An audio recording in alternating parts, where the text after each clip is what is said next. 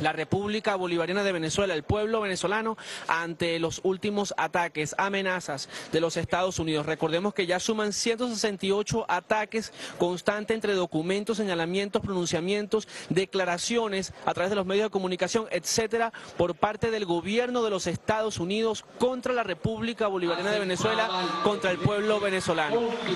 Y en estos momentos el presidente Nicolás Maduro hace entrada en el hemiciclo protocolar de la Asamblea Nacional, donde es recibido por los diputados, miembros del Ejecutivo Nacional, acompañado por miembros también del Gobierno Nacional, representantes del alto mando de la Guardia Honor también, para hacer entrega y presentación de este documento importantísimo que tiene como objetivo fundamental, como lo hemos señalado y como lo bien lo recuerda el compañero Jesús Manzanares, la defensa de la integridad del pueblo venezolano. Venezuela se respeta, ha sido una de las principales eh, consignas que ha levantado el presidente de la República, Nicolás Maduro, ante estos últimos ataques, donde el propio presidente de los Estados Unidos, Barack Obama, acaba el día de ayer de emitir un decreto que declara a Venezuela una amenaza a la seguridad nacional de los Estados Unidos.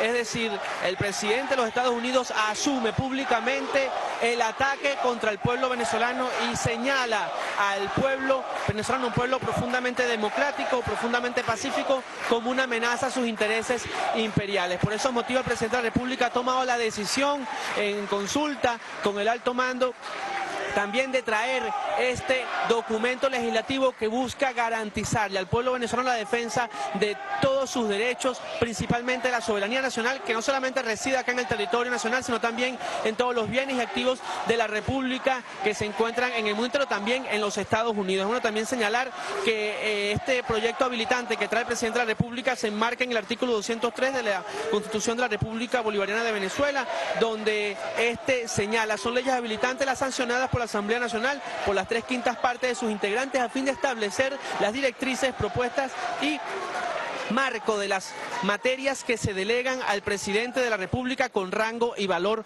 de, de, ley. Artículo 203 de la Constitución de la República Bolivariana de Venezuela. También vamos a recordar parte de algunas de las intervenciones que ha realizado el gobierno de los Estados Unidos a lo largo de los últimos 200 años de historia de nuestro continente de Latinoamérica. En el año 1823, la doctrina Monroe declara que América Latina se considera esfera de influencia para los Estados Unidos. En 1846, Estados Unidos se emprende una guerra contra México y desprende gran parte del territorio y lo suma al, al propio territorio de los Estados Unidos. En el año 1904 la Infantería de Marina estadounidense desembarca en República Dominicana para sofocar un levantamiento armado opositor. En el año 1915 los marines ocupan Haití para restaurar el orden.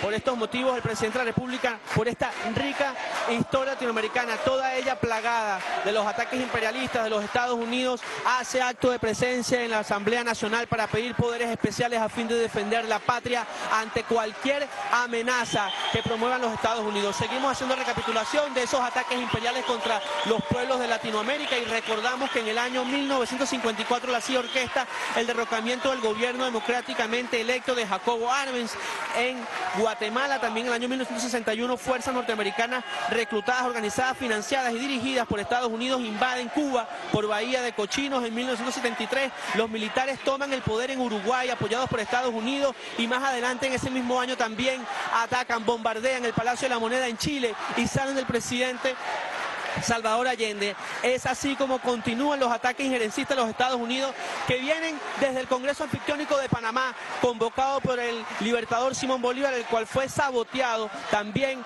por los representantes del naciente imperio estadounidense en aquel en aquellos años iniciando los, el, la década de 1820. También en el año 2002 Venezuela sufrió nuevamente los ataques imperiales cuando el gobierno de Estados Unidos financió tanto grupos de francotiradores como todas las maniobras que se realizaron para poder darle un golpe de Estado al presidente en aquel momento Hugo Chávez Frías.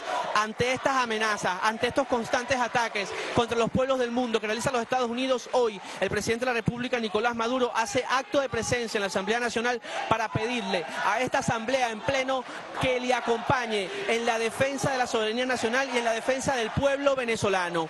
Por estos motivos, escuchan ustedes en estos gritos de estos legislativos y también de los presentes en la Asamblea, Maduro al gringo dale duro. Es el mensaje, es el llamado que le hace un pueblo a través también de sus diputados para garantizar todo lo que sea necesario a fin de garantizar la defensa de la patria. Es decir, hoy... Buenas noches para los que están... Una vez más, los Estados Unidos tratan de atacar al pueblo venezolano. Seguimos escuchando de inmediato palabras del presidente de la Asamblea Nacional, Diosdado Cabello Rondón. AN Televisión, ANTV. Buenas noches, compañeros del Poder Popular. AN Radio, Venezolana de Televisión. Ciudadano compañero Nicolás Maduro, presidente constitucional de la República Bolivariana de Venezuela. Bienvenido a su casa. Ciudadanos representantes del Poder Popular y Pueblo Bolivariano de Venezuela. Ciudadano Jorge Arriaza, vicepresidente ejecutivo de la República, bienvenido. Bienvenida ciudadana Cilia Flores, primera combatiente de la República Bolivariana de Venezuela. Ciudadano Rodolfo Marco Torres, vicepresidente sectorial para Economía y Finanzas y ministro del Poder Popular de Economía, Finanzas y Banca Pública. Bienvenido. Ciudadano Carlos Osorio Zambrano, vicepresidente sectorial para la Seguridad y Soberanía Agroalimentaria y coordinador de Estado Mayor de la Guerra Económica. Bienvenido. Ciudadano Ricardo Menéndez, vicepresidente sectorial para la Planificación y el Conocimiento y ministro del Poder Popular de Planificación. Bienvenido. Ciudadano Héctor Rodríguez, vicepresidente sectorial para el Desarrollo Social y la Revolución de las Misiones y ministro del Poder Popular para la Educación. Bienvenido, querido compañero. Ciudadana Almiranta Carmen Melente, vicepresidenta sectorial de Soberanía Política, Seguridad y Paz y ministra del Poder Popular del Despacho de la Presidencia y Seguimiento de la Gestión de Gobierno. Bienvenida. ¿Mm? Ciudadana Jacqueline Faría, ministra del Poder Popular para la Comunicación y la Información. Querido compañero general en jefe, Vladimir Padrino López, ministro del Poder Popular para la Defensa y demás generales y almirantes comandante de la, del Ejército Nacional Bolivariano, de la Armada Nacional Bolivariana, de la Guardia Nacional Bolivariana, de la Aviación Nacional eh, Militar Bolivariana, de la Milicia Nacional Bolivariana. Bienvenido. Demás ministros y ministras y viceministros del Gabinete Ejecutivo. Almirante Wolfgang López, segundo comandante estratégico operacional. Ciudadano Jorge Rodríguez, alcalde del municipio bolivariano Libertador. Ciudadano Ernesto Villegas, jefe de gobierno del Distrito Capital.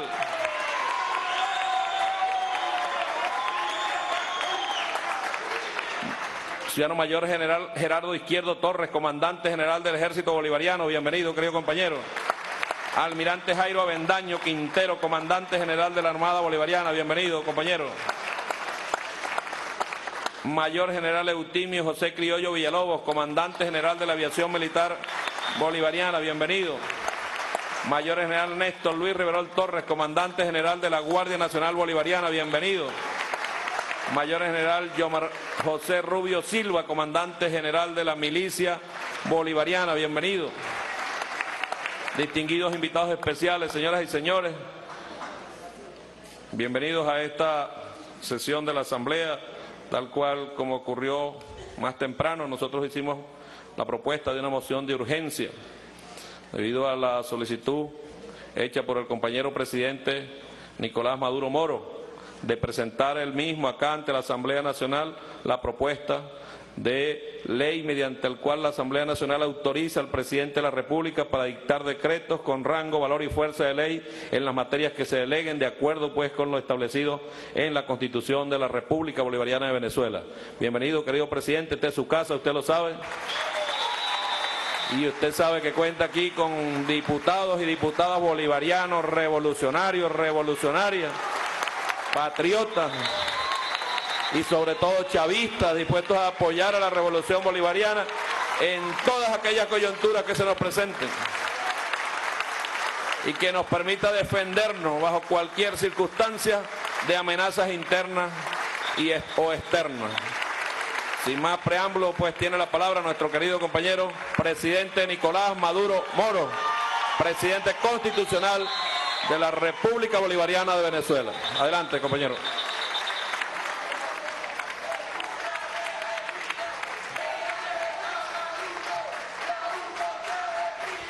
Plantear los puntos específicos que este documento legislativo que trae el día de hoy pretende manifestar para de esta manera garantizar.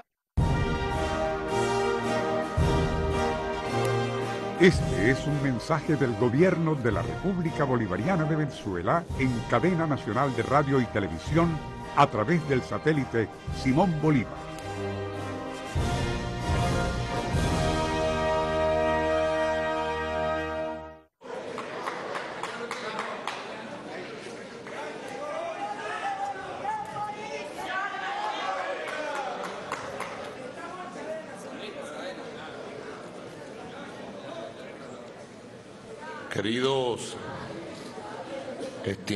Y estimadas diputados y diputadas de la Asamblea de nuestra muy amada República Bolivariana de Venezuela, diputado presidente, compañero Diosdado Cabello Rondón, Presente. presente y siempre consecuente.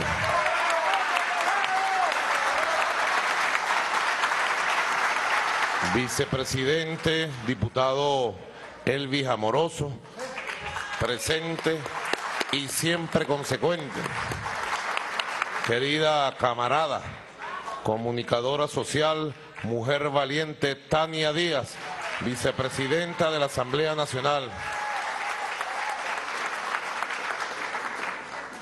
Compañeros vicepresidentes, Jorge Arriaza y demás vicepresidentes de gobierno presentes, Héctor Rodríguez, Ricardo Menéndez, Carlos Osorio, Marco Torres, la almiranta en jefa que ayer, hoy más bien en la madrugada, asumió el despacho de la presidencia y continúa al frente de la vicepresidencia de soberanía política y paz. El compañero Elías Agua no se encuentra presente, el vicepresidente de Socialismo Territorial, porque en este momento se encuentra en Vietnam, trabajando todos los planes de cooperación, presidiendo la comisión mixta con Vietnam. Hermano pueblo de Vietnam, a quien aprovecho de enviar todo nuestro saludo patriótico, bolivariano, humano al pueblo de Ho Chi Minh, de Diep Diap, héroes de un pueblo verdaderamente valiente. Salud. Siendo frío aquí. Diputados, diputadas, compañeros miembros del alto mando militar, general en jefe Padrino López, comandante estratégico operacional de nuestra Fuerza Armada. Hoy leyeron un comunicado extraordinario que va haciendo doctrina militar, constitucional, democrática, antiimperialista, doctrina verdadera comunicado que hoy compartieron con la oficialidad joven, con los cadetes, en el Seminario Nacional de Pensamiento Militar Bolivariano del comandante Hugo Chávez.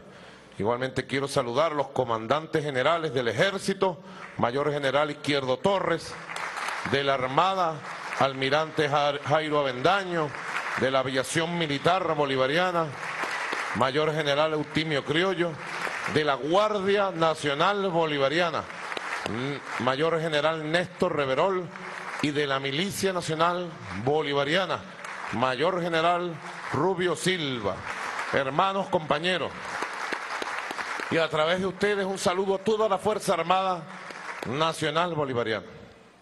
Diputados y diputadas, hombres y mujeres del pueblo que nos acompañan y que nos escuchan en cadena nacional de radio y televisión, envío un saludo en cadena a toda Venezuela siendo las 6 y 30 minutos de la tarde de hoy, 10 de marzo. Diputados del bloque mayoritario de la revolución, del cambio, así lo llamamos en aquella época temprana, el bloque del cambio, cuando en estos espacios estuvimos dando la batalla por la verdad de Venezuela, en aquellos años 2000, 2002, 2003, diputados del bloque opositor de los distintos estados del país, mi saludo, saludé apenas a tres, cuatro de ustedes, pero extiendo mi saludo a todos los diputados y diputadas de la bancada opositora. Igualmente, quiero, el día de hoy, 10 de marzo, es el día del médico, ¿verdad? Y la médica. Un saludo a los médicos del país que están todos los días atendiendo a nuestro pueblo en hospitales, ambulatorios, luchando por la salud del pueblo. Un saludo a los médicos presentes aquí, a las médicas, a los que curan el cuerpo y a los que curan el alma, como Cristóbal Jiménez, que con su canto nos trae frescor y oxígeno para vivir. Saludo a todos y a todas. Quiero agradecer, diputado Diosdado Cabello, la gentileza de la Asamblea Nacional al aceptar esta visita oficial, institucional, que estoy haciendo a la Asamblea Nacional en su propio hemiciclo de debate, de trabajo permanente,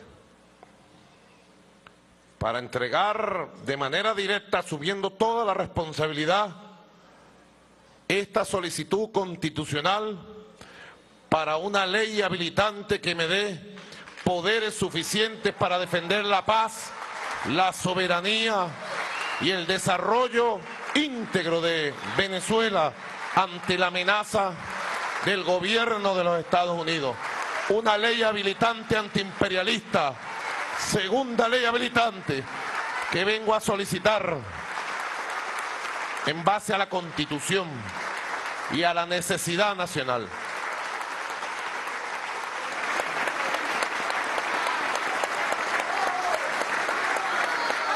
Esta ley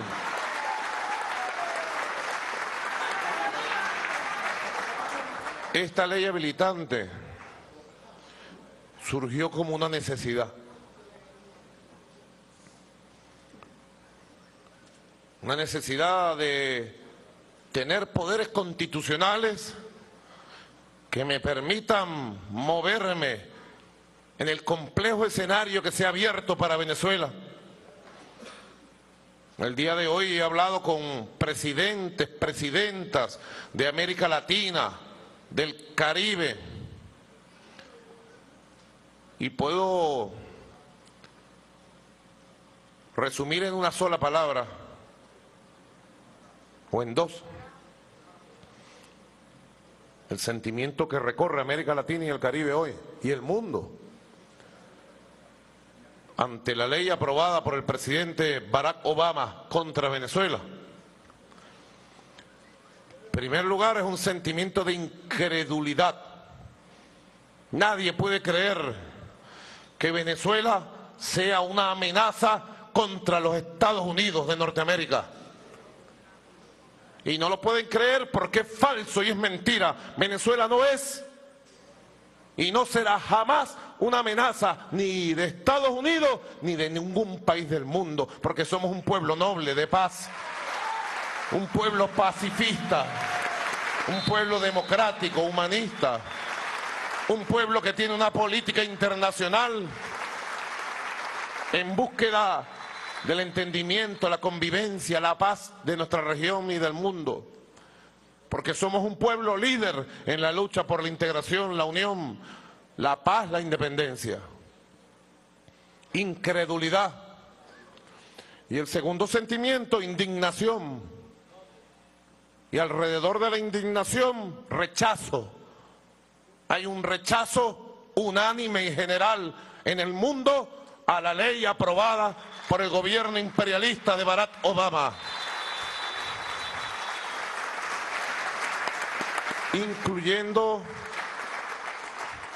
importantes sectores de opinión de los Estados Unidos de Norteamérica. Intelectuales, dirigentes sindicales, congresistas, afrodescendientes, hermanos hispanos y latinoamericanos, movimientos sociales, comunidades, que de manera creciente comienzan a expresar su opinión de rechazo y hacer un llamado a la paz. Incredulidad, indignación, es lo primero que sentimos nosotros cuando supimos esta aberración. Es una aberración histórica, no se puede llamar de otra forma. ¿Saben ustedes, diputados y diputadas, compatriotas que me escuchan, que este conflicto entre el surgimiento y existencia de un imperio en el norte de América tiene más de 200 años. En los Estados Unidos de Norteamérica se gestó la independencia de la metrópoli británica en la misma dirección y dinámica en que surgió la idea de constituir un nuevo Estado imperial ahora en territorio americano. Es la historia que nos habla y que nos enseña a todos y a todas. El propio surgimiento de las trece colonias independientes por allá alrededor del río de la Guerra, Filadelfia, lo que hoy es Washington, Boston, Baltimore, Nueva York, las trece colonias que se independizaron en un pequeño espacio que quizás sea del tamaño de lo que hoy es Venezuela o quizás menos. Y todas sus instituciones que se rebelaron al imperio británico fueron constituyéndose con la misma ideología de grandeza imperial y de dominación. Cada una de las instituciones, el ejército estadounidense y su concepto, el Estado estadounidense y su concepto, Estados Unidos de América, suficiente material de discursos y tesis de los fundadores de Estados Unidos, formulando el concepto de lo que debía ser los Estados Unidos de América como el centro que agrupara a todos los estados y territorios que surgieran de lo que era América entonces. Y el concepto del destino manifiesto, el destino manifiesto que de acuerdo con estas tesis colocaban a la élite que fundaba Estados Unidos y que la iba a dirigir con el destino manifiesto de gobernar América y el mundo. Y las tesis luego de James Monroe, de América para los americanos, y toda la conducta que tuvo la élite estadounidense en contra de la independencia nuestra. Es la verdad de la historia. Los conflictos de hoy no son sino una manifestación de una historia que marca los tiempos de hace 200 años. 200 años de las expresiones proféticas del libertador Simón Bolívar, cuando ya se iniciaba la república, la tercera república bolivariana ya en el Orinoco, en Angostura, y las tropas, nuestras tropas, las tropas de nuestros abuelos, capturaron dos barcos llenos de armas que venían de los Estados Unidos de Norteamérica a apoyar las tropas españolas. Y a la vez los enviados del Libertador a buscar armas, pólvora, allá en el norte, en Nueva York, eran capturados e enjuiciados y condenados a 10, 20 años de cárcel. Quienes dirigieron el imperio estadounidense siempre consideraron la independencia del sur como una amenaza a su apetito imperial de apoderarse de nuestras tierras, de nuestras riquezas, como parte del destino manifiesto. No es nuevo que nos declaren amenaza. Persiguieron a Bolívar, lo persiguieron y lo marcaron, enviaron diplomáticos ya formados en el concepto de su madre británica a intrigar en todas las capitales en donde se combatía por la libertad y la independencia del sur. Hasta allá Buenos Aires, hasta Santiago de Chile, hasta México llegaron los enviados a mal hablar de nuestro libertador, a calificarlo de el loco del sur, a calificarlo de distintas formas, a quien lideraba la más grande epopeya de libertad que jamás se ha conocido en todos los tiempos de nuestra América. El libertador Simón Bolívar dejó con su capacidad, su inteligencia, dejó marcado su momento histórico, sin ningún tipo de vacilaciones.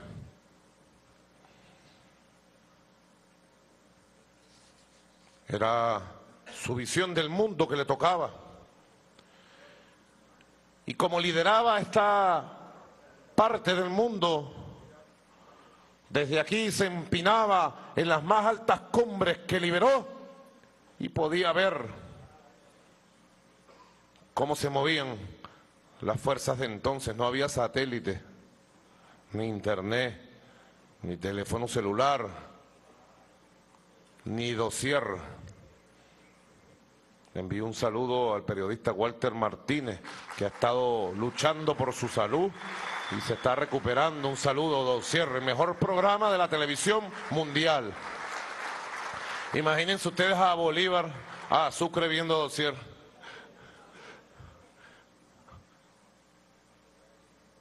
Él era su propio dossier. Y podía ver lejos. Además, porque de estas tierras, de este mestizaje, ha surgido una fuerza mágica, espiritual, que ni los españoles ni los gringos pudieron comprender cuando fue imperio España y ahora este imperio. No lo podrán comprender. Diputado Zambrano, compañero, diputado. Stalin González, diputado. Pizarro, no nos podrán comprender nunca desde el norte. Esta fuerza que nos mueve, que nos lleva, esta pasión, este amor, este sueño que ha completado varias etapas de nuestra historia. No podrán nunca los que confabulan y se conjuran para repartirse nuestras riquezas a nuestras expensas y pretenden amenazarnos para que nos arrodillemos.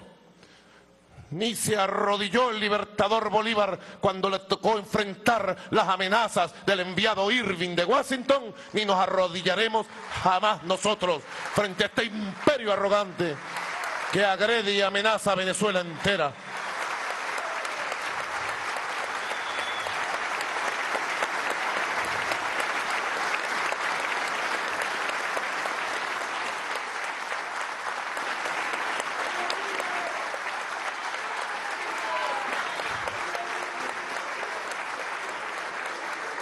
Decía el libertador, esto es muy importante, son 12 minutos para las 7 de la noche. Y a esta hora hay muchos niños, niñas llegando a su casa, jóvenes del liceo, estudiantes universitarios. Aquí al frente tengo el rostro maravilloso, como viéndome desde su alma eterna de Robert Serra, joven venezolano, mártir de la revolución bolivariana. Honor y gloria a Robert Serra, mártir, que le tocó partir temprano como los mártires que vienen a hacer, a traer su luz y se despiden. A esta hora es importante estimular el debate con nuestra juventud sobre la historia grande. Un pueblo que conoce su historia y que la usa como base es un pueblo que tiene garantizado su grandeza, que tiene garantizado ser dueño de su futuro. Un pueblo que desconoce su historia sencillamente cae indefectiblemente en los ciclos de dominación, dolor, como nos tocó a nosotros durante tantas décadas, tantos años. Una de las virtudes de nuestro comandante Hugo Chávez, sin lugar a dudas, fue rescatar la historia de la patria y convertir la historia en fuerza viva de impulso hacia el futuro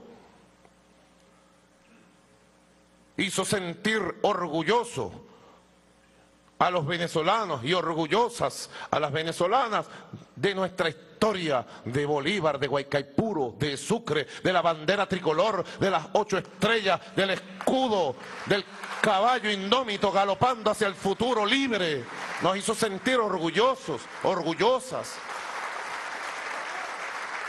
A todos, a los que aplauden y a los que no aplauden nos redescubrió el mundo de la patria y su símbolo y su historia y su grandeza. Por eso, para solicitar esta ley habilitante, creo necesario abrir el debate sobre nuestra historia, reabrirlo, dinamizarlo a todo nivel, elevar un debate de altura sobre la historia, sobre el presente y sobre el futuro. Decía el libertador Simón Bolívar en una carta a Santander el 23 de septiembre de 1822, por allá por el sur. Ya estaba con las tropas libertadoras en el sur. Qué grande Bolívar, ¿verdad?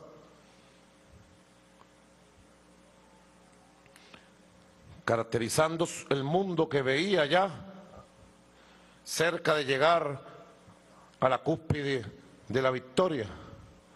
Decía, comillas, cuando yo tiendo la vista sobre la América, la encuentro rodeada de la fuerza marítima de Europa. Quiere decir, circuida de fortalezas fluctuantes, de extranjeros y por consecuencia de enemigos. Era el tiempo de la triple alianza en Europa. Y de los que decían que volvían a América a reconquistarla una vez derrotada España, venían a repartirse nuestras tierras. En aquella época era vulgar el imperio, los imperios. Hoy usan el guion de Hollywood para maquillarse y para disimular. Dicen luchar por los derechos humanos y por eso bombardean Libia e Irak. Y matan millones de hombres y mujeres en el mundo para defender los derechos humanos de los que matan pero en CNN, en Fox News, salen como grandes demócratas y son genocidas.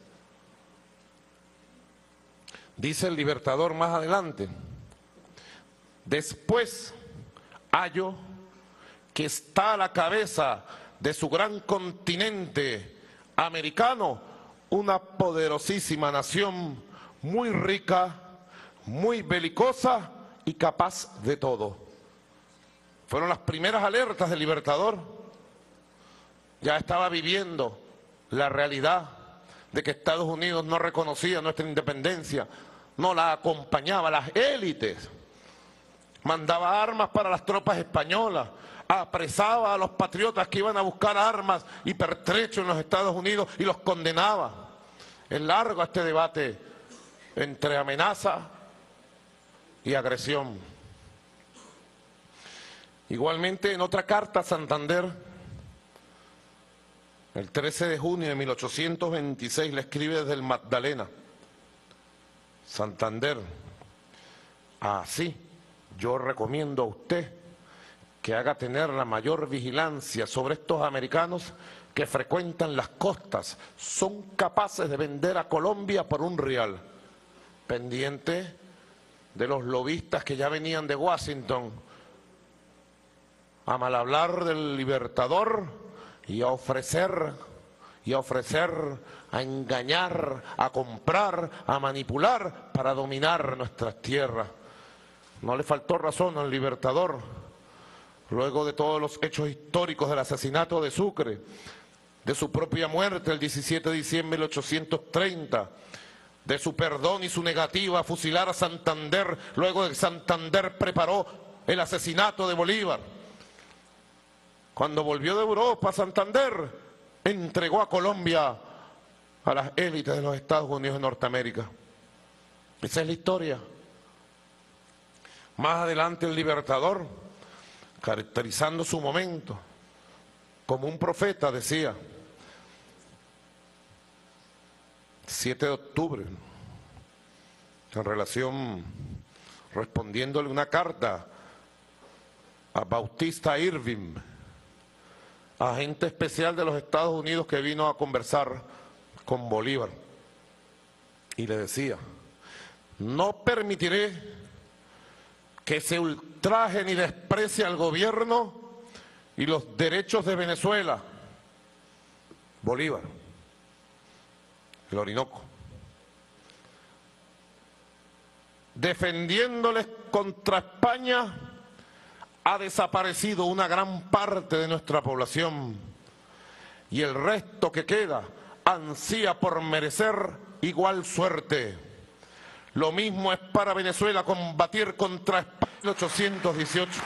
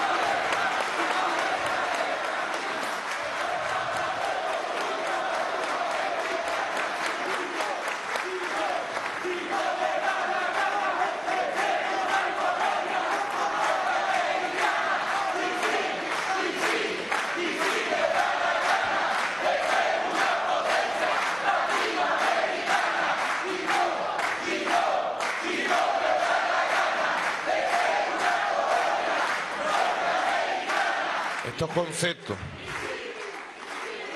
gracias, estos conceptos no surgieron, aquí hay varios profesores universitarios, Arle Herrera, Eduardo Piñate, entre los que veo, Ricardo Sanguino. No nombro la oposición porque me piden derecho a réplica, de acuerdo al reglamento. Hay varios profesores universitarios y estudiosos de la historia. Saben que estos conceptos no surgieron de la academia, ¿no?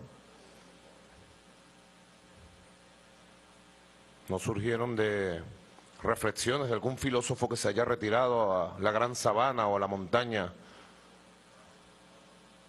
del Tíbet. Surgieron de un jefe, de un guerrero. 1818, ¿dónde estaba Bolívar en el 18 cuando dice esto? Estaba fundando la Tercera República. Estaba en Guayana. Estaba en Angostura. Estaba preparando el Congreso Constituyente de febrero de 1819. Estaba preparando el plan para ir y sorprender al Imperio Español en Boyacá. Estaba preparando el plan para unir las tropas de Oriente, las tropas del sur y las tropas de los llanos del gran Centauro Páez. Era un combatiente, era un guerrero. Y por ser un combatiente y un guerrero logró desarrollar la más grande inteligencia que solo desarrollan los revolucionarios, los guerreros, los hombres, las mujeres auténticas. y no lo desarrolla más nadie para poder ver el tiempo que vive y sobre todo ver los tiempos futuros. Así lo hizo el Libertador. Pudiéramos estar aquí recorriendo la historia durante horas maravillosas, hermosas, pero quizás sea con una frase escrita en carta a Patricio Campbell desde Guayaquil, que nuestro libertador sentenció proféticamente lo que después sucedió. Y creo que ha dejado de suceder para siempre. Cuando el libertador dijo de su propio, de su propio puño y letra, dijo, los Estados Unidos de Norteamérica parecen destinados por la providencia a plagar de miseria a la América en nombre de la libertad. Los desnudó para todos los tiempos. Lamentablemente, cien años después, esto cayó como una sentencia sobre los pueblos de América y los Estados Unidos dominó todo el siglo XX, América Latina y el Caribe y nos plagó de miseria, de pobreza, de necesidad, de analfabetismo, de atraso a nombre de la libertad, a nombre del de la forma de vida americana. Estableció sus garras. Siglo XX completo de América Latina y el Caribe fue un siglo de invasiones, golpes de Estado, dictadura, saqueo, vulgar, abierto. Fue un siglo en que maduró en todo el continente una corriente democrática, rebelde, progresista, revolucionaria, que representamos nosotros, y un sinnúmero de movimientos y líderes y lideresas del continente.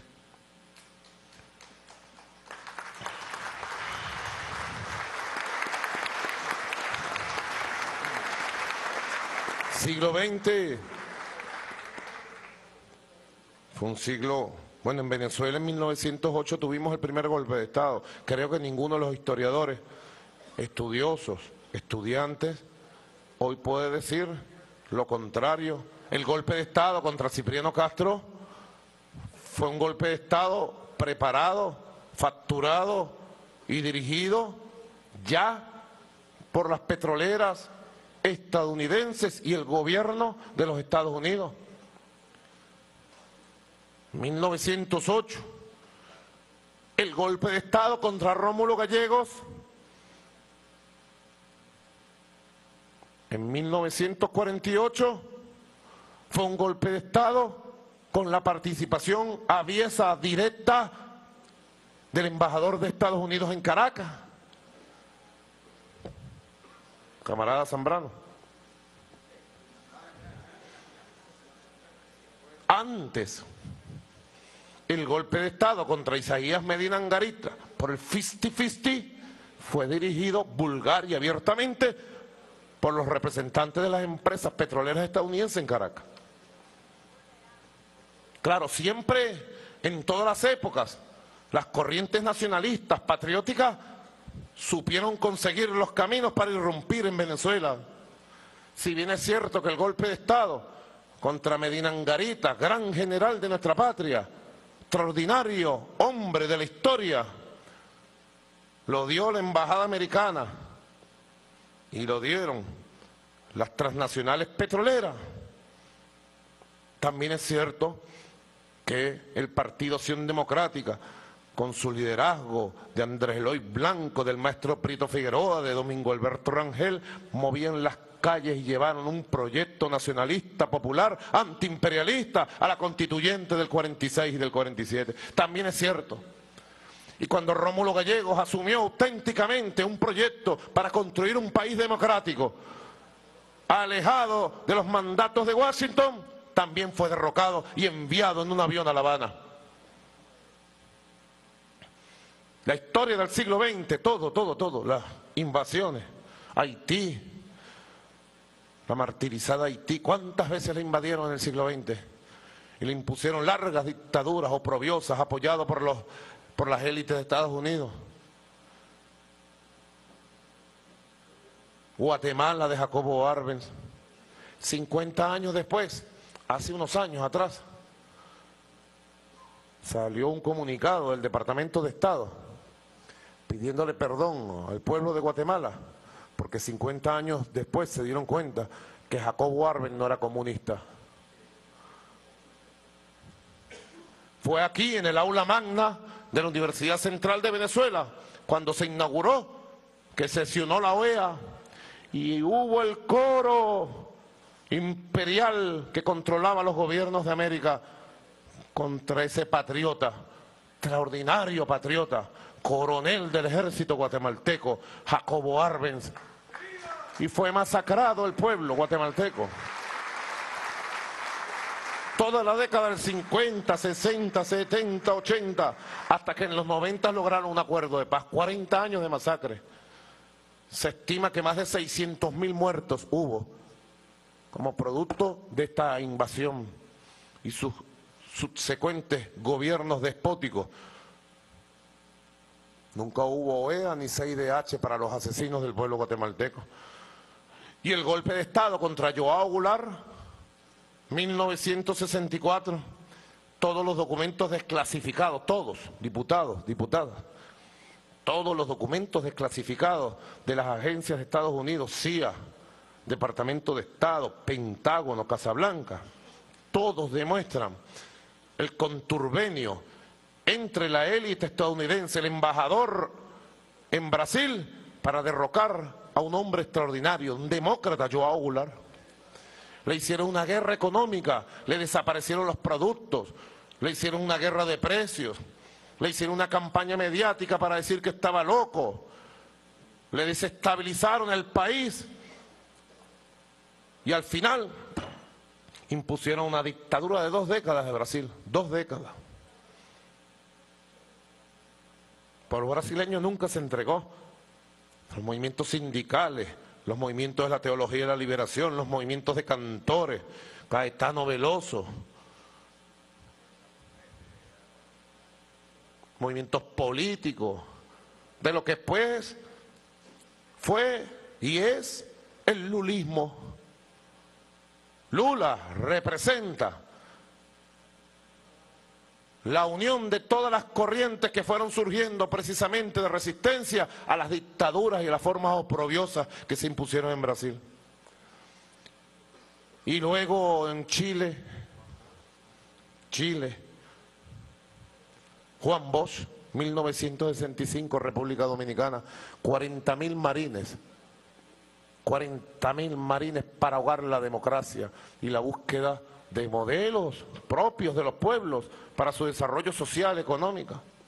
Siglo XX marcado por el intervencionismo directo, por los golpes de estados inducidos, por la desestabilización, por desconocer que los pueblos existimos, por tratar de detener lo que en América Latina y el Caribe es indetenible, las corrientes históricas rebeldes, revolucionarias, nacionalistas, bolivarianas, patrióticas, antiimperialistas, no lo han podido.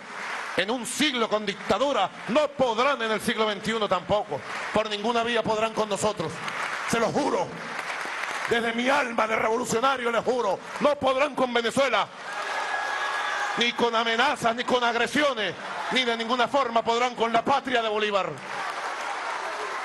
Y cumpliré mi juramento a costa de mi propia vida si tengo que darla.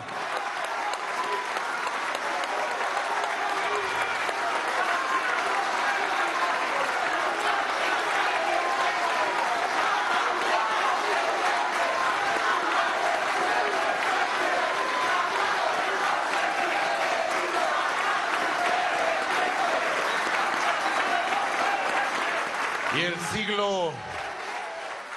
Hay crímenes de crímenes. Hay crímenes de crímenes. Yo también te amo, ¿viste, viejito? Te amo también. Con el corazón de un hombre patriota.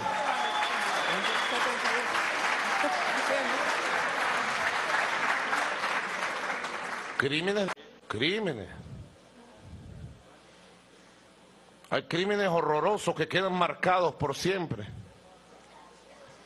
Creo que si hiciéramos una consulta aquí entre diputados y diputadas,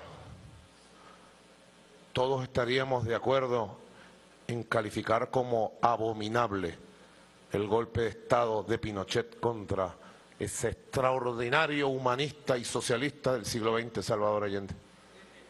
Creo que no saldría ni un diputado, ni una diputada a justificar ni a apoyar, ni uno saldría.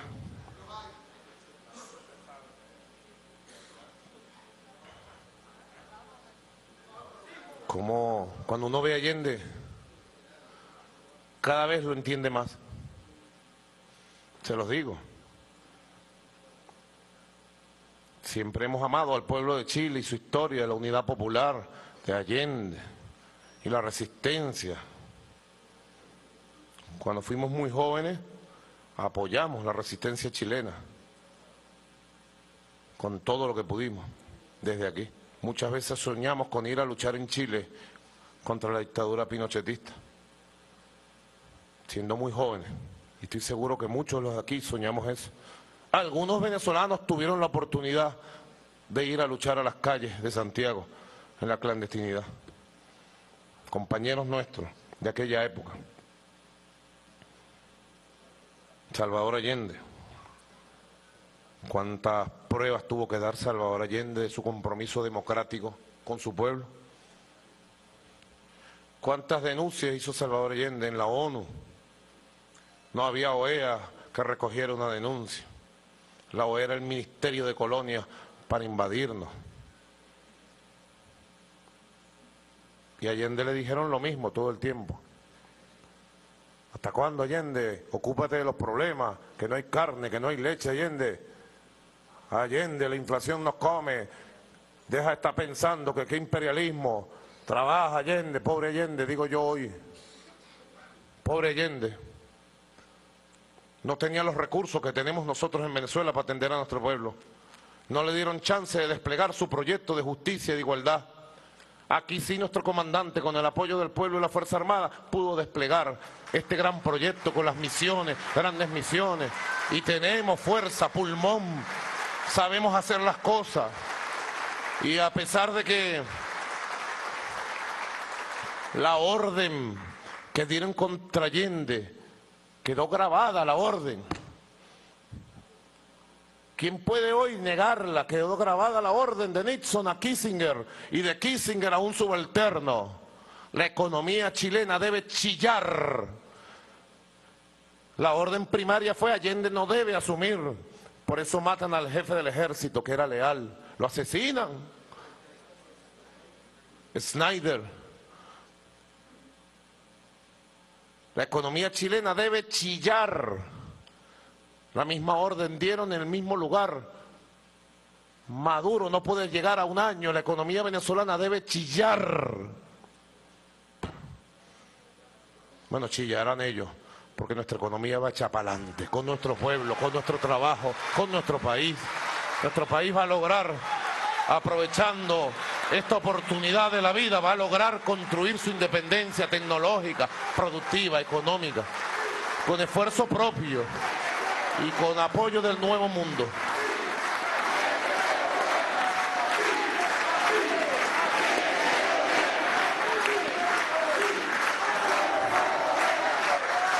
Diputado Diosdado Cabello. Compañero Diosdado, ¿cuántas batallas hemos dado?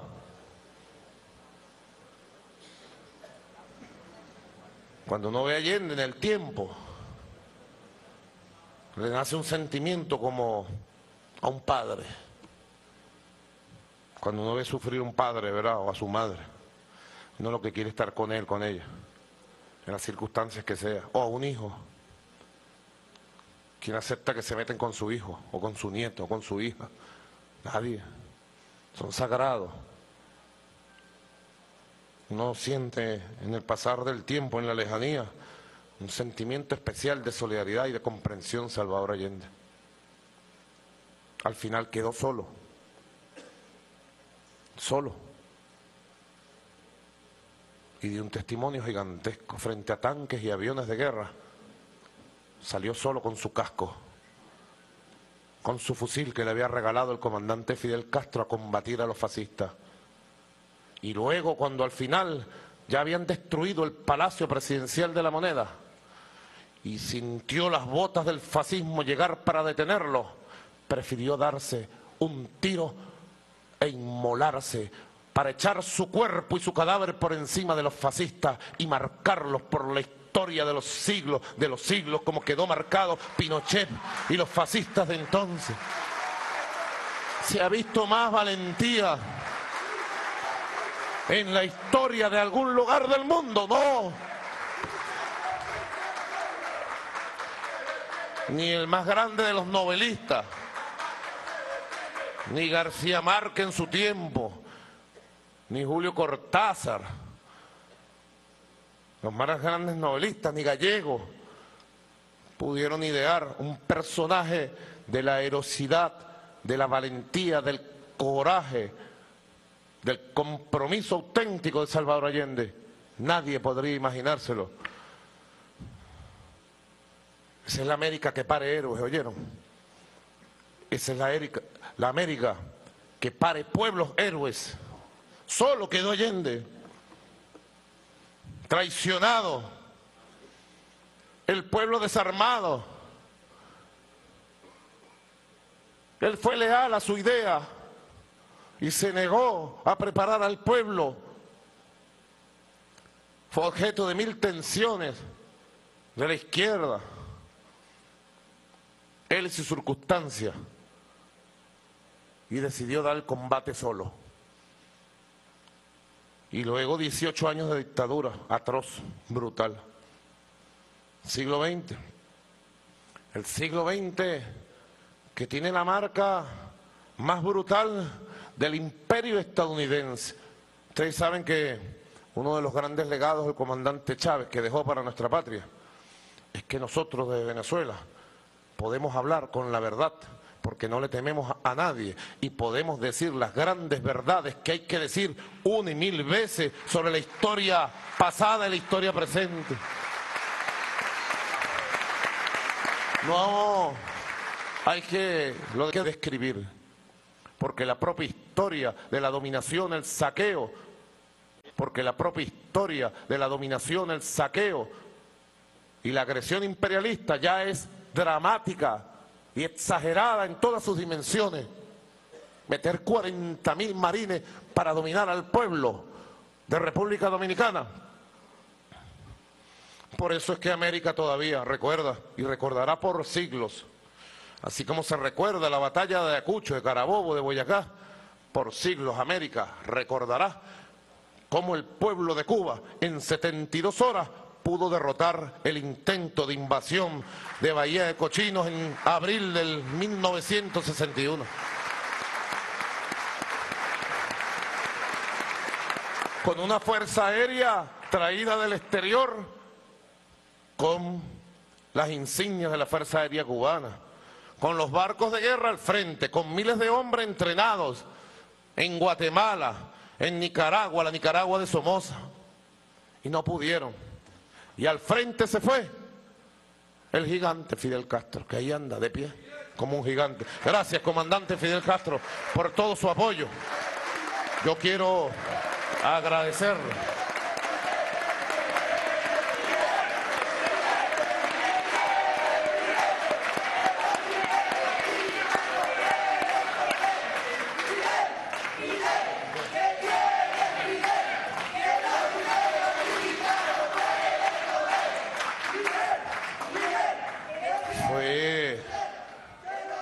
primera derrota del imperialismo estadounidense en tierras americanas. Se recordará por los siglos de los siglos. Ayer después de la locución recibí varios comunicados oficiales de gobiernos que los sacaron en la noche, madrugada, de varios lugares del país, del mundo, perdón. Y recibí una carta maravillosa que creo que los resume todo. Aquí tengo la carta con su firma. Querido Nicolás Maduro, presidente de la República Bolivariana de Venezuela, te felicito por tu brillante y valiente discurso frente a los brutales planes del gobierno de Estados Unidos. Tus palabras pasarán a la historia como prueba de que la humanidad puede y debe conocer la verdad. Fraternalmente, Fidel Castro Ruz, marzo 9 del 2015, 11 y 24 pm. Aquí está. Gracias, Fidel. Comandante de todas las luchas, de todas las victorias, comandante del antiimperialismo nuestro americano, martiano, bolivariano y chavista, porque Fidel es un comandante chavista. Aquí está la carta.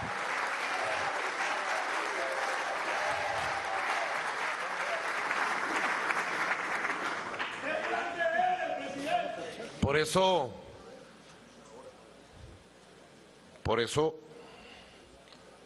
cuando en los años 90 hubo el despertar y el sacudimiento nacional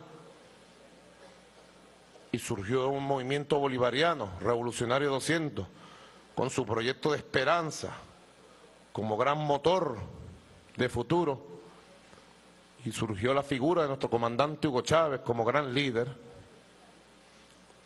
Pasaron el domingo y hoy lo repitieron un programa especial de José Vicente Rangel de una hora. Yo lo recomiendo a todos para que conozcan el pensamiento coherente y auténtico del comandante Chávez desde la cárcel de Yares, desde el día de su libertad hasta día antes de su muerte prácticamente. Cuando surgió, yo lo estuve viendo esta mañana, que lo repitió Venezolana de Televisión a las 9 de la mañana. Ustedes saben que yo soy un chavista rajado, pues, comprometido, restiado. Me siento orgulloso y le doy gracias a la vida de haber conseguido un sentido tan grande para vivir. El gran sentido que nos dio Chávez para servir a esta patria. ¡Que viva! Y uno ve el desarrollo del pensamiento del comandante allí, desde la cárcel, el día que salió en libertad, el 26 de marzo del 94, y va viendo su crecimiento como líder. Y yo viéndolo, ustedes saben que ahora hay los mecanismos que uno para el televisor. Está viendo una película y la para y va para el baño o come algo. Entonces y pensaba. Un programa de una hora, duré como dos horas pensando, tomando notas, recordando cosas muy importantes para este tiempo. Porque hubo un día, queridos, estimados, respetados diputados de la oposición y diputadas, hubo un día que el comandante Chávez, año 96, nos llamó. Teníamos una buena fuerza popular no salía en los medios de comunicación, ni, en, Globovisión, ni en Televen, ni en Venevisión. No, nunca, nosotros jamás nos sacaban. Yo recuerdo haber salido en televisión una sola vez en la vida por un conflicto sindical en el metro y yo fui el vocero y me sacaron tres segundos. Lo único que salió fue, no puede ser. yo dije, en Chacao, una marcha que hicimos los trabajadores del metro. Y un día del año 96 el comandante Hugo Chávez nos llamó, a uno por uno y después en grupo. Nosotros teníamos una buena fuerza popular en los barrios. No andábamos en Globovisión, pero sí andábamos en Catiavisión, en Junquitovisión, en La Vegavisión, andábamos con el pueblo adentro, en las catacumbas, con él. Y nos dijo, frente al qué hacer, nos dijo, bueno muchachos, ya basta. Ha llegado el momento que nos planteemos un proyecto para impulsar el proceso popular constituyente por la vía pacífica. Y la única forma de hacerlo es ir a las elecciones del 98. Aquí hay varios compañeros. Iris Varela debe estar por ahí, que pegaron el grito al cielo. Maigualida Barrera, que es diputada suplente, creo, no está presente. Pegaron el grito al cielo, Maigualida. Freddy, Freddy Alirio Bernal Rosales, que ustedes me lo prestaron para una tarea. Y varios compañeros. Ricardo Sanguino en el Táchira. Y otros más que me acuerdo ahorita. ¿Qué es eso, Chávez? No, tenemos fuerza popular, tenemos fuerza militar, vamos a una insurrección. Y Chávez dijo, no, no y no. Nuestro camino tiene que ser paz. Nuestro camino, si venimos y no lo negamos, porque el primero que dio la cara el 4 de febrero fue Chávez y dijo, asumo toda la responsabilidad. No salió a excusarse, no salió a decir, yo no fui, yo no estaba, yo no soy. Él dijo, soy el jefe, soy responsable y voy preso. Y así fue, así debe ser. No con cuchillos por debajo, apuñaleando la patria.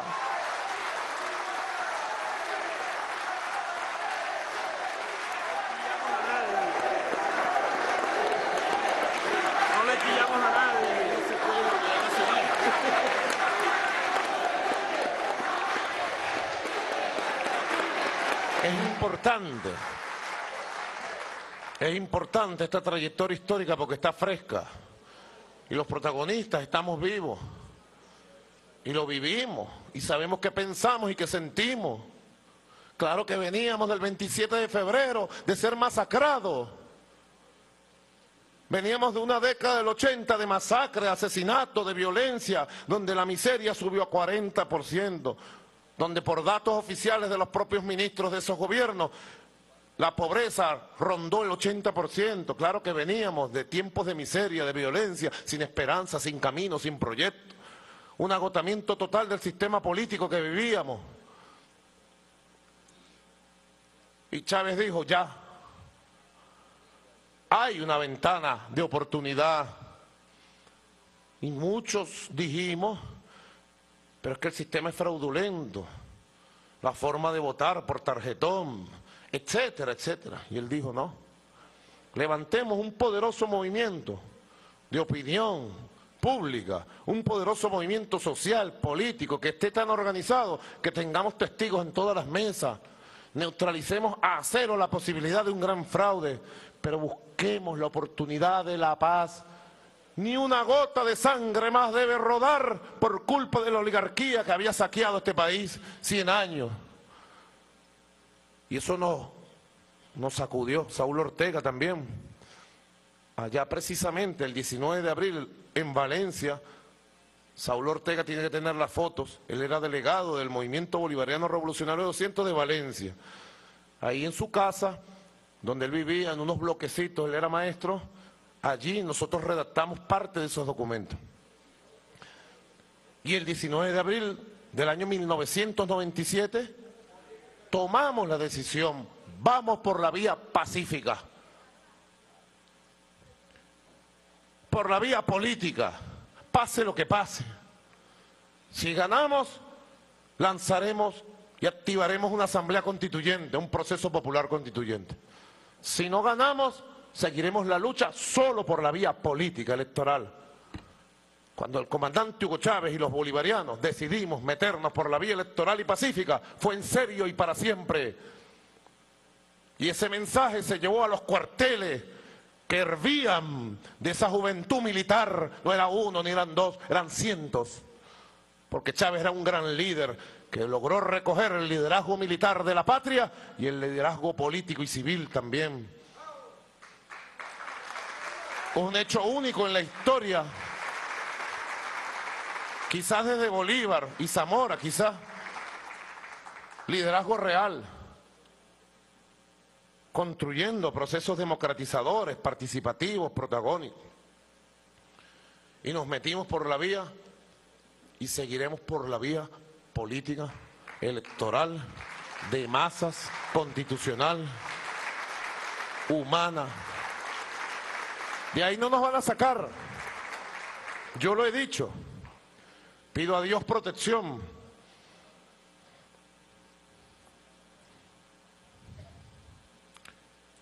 Si llegaran a ocurrir grandes eventos que conmovieran la patria, conmigo vivo o no, la orden es llueve, truene o relampaguee. Este año hay elecciones parlamentarias, ¿lo quiere el imperio o no lo quiere el imperio? Vamos a elecciones parlamentarias y que el pueblo decida lo que va a pasar en este país. Y nosotros iremos con la misma moral. Si ganamos, ganamos. Y si perdemos, perdemos y punto. Democracia, paz, constitución es lo que queremos. Listo. Que cada quien presente su nombre, su propuesta y que decida el pueblo de Venezuela.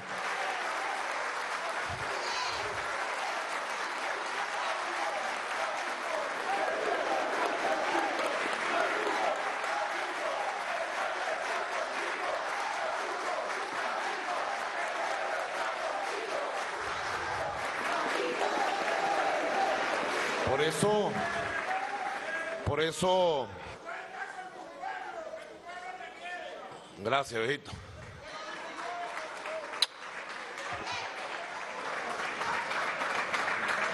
Por eso, fíjense ustedes, yo también te amo. Ahora baja y te voy a dar un abrazo. ¿Oíste? Cuidado, te cae, cuidado. Así es. Un país. Y vaya que comandante Chávez cumplió.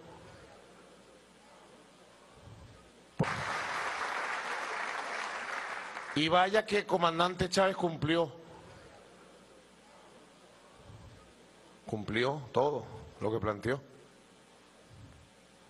Seguramente si nosotros hacemos un ejercicio crítico, autocrítico, de los 16 años de revolución conseguiremos muchas cosas que no se han hecho, que están por hacerse, o que se hicieron mal.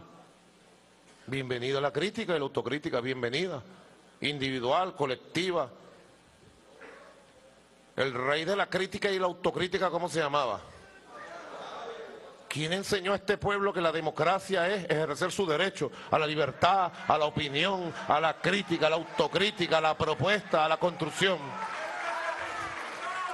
¿Existió antes de Chávez algún líder nacional o presidente que llamara al pueblo a la crítica, a la autocrítica, a la movilización de calle, a la lucha?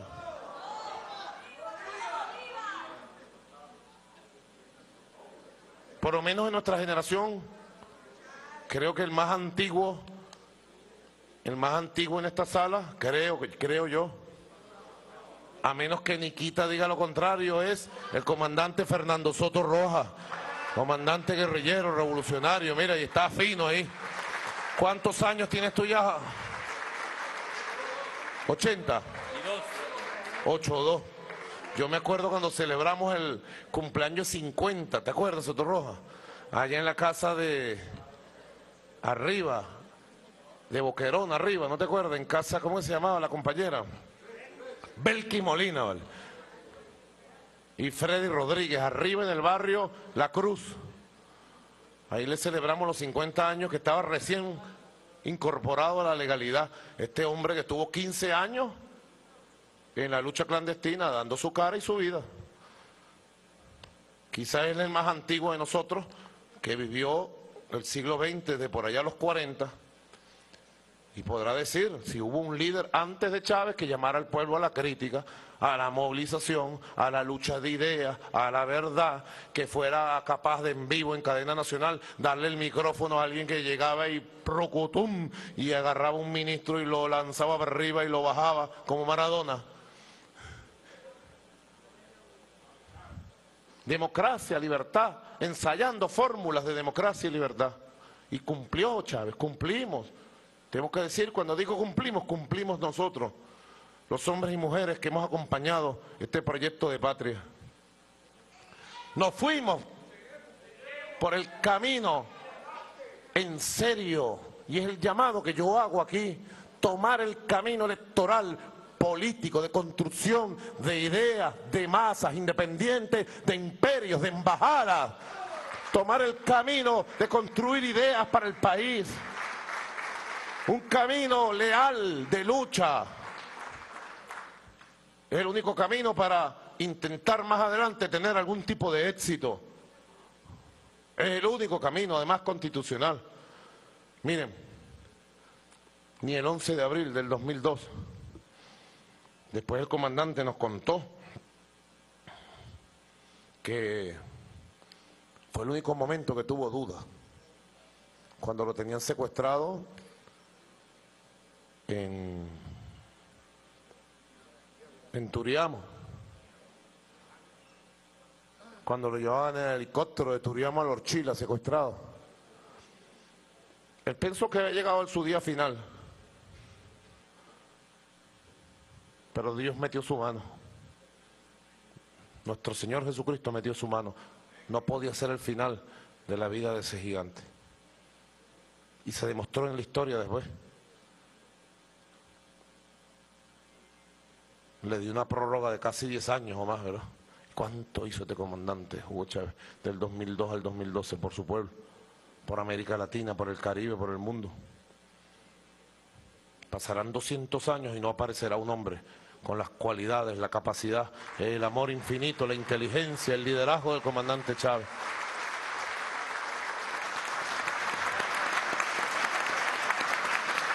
Cumplió.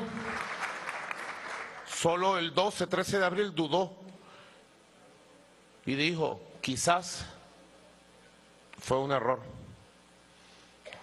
Quizás tuvo razón Iris, Maigualida, Freddy, Silvia, cuando dijeron que no, por la vía pacífica no se podía. Quizás tuvieron razón, pensó él. Quizás se acabó la posibilidad de, por la vía democrática, hacer cambios profundos y rescatar las riquezas de nuestro país, y construir la igualdad y proteger al pueblo.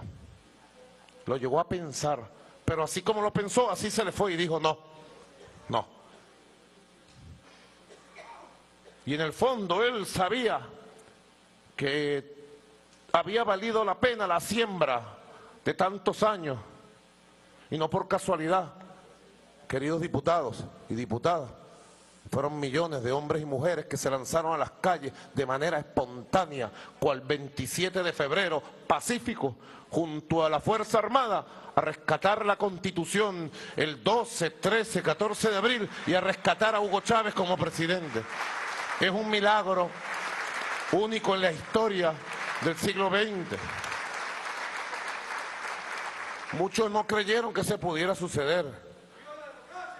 Viva la democracia, correcto.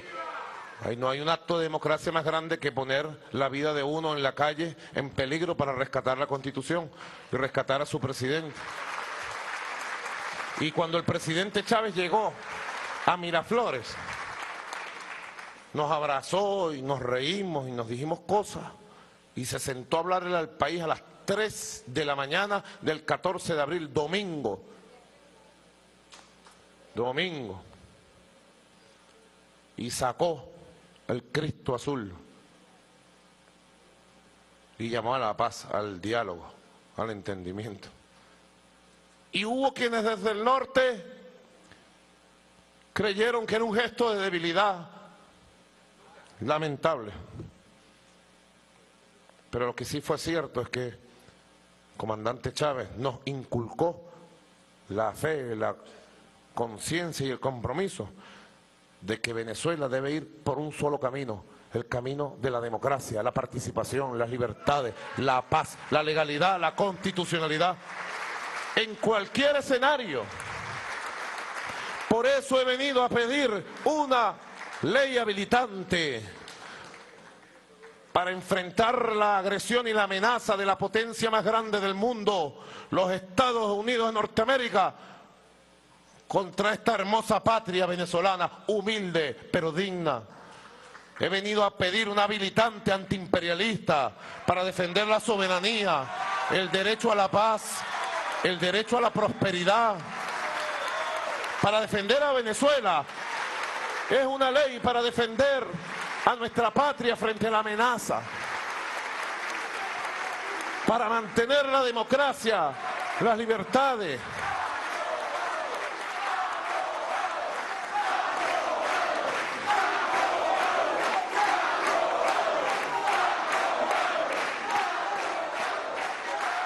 Y para eso, nuestro camino es la paz.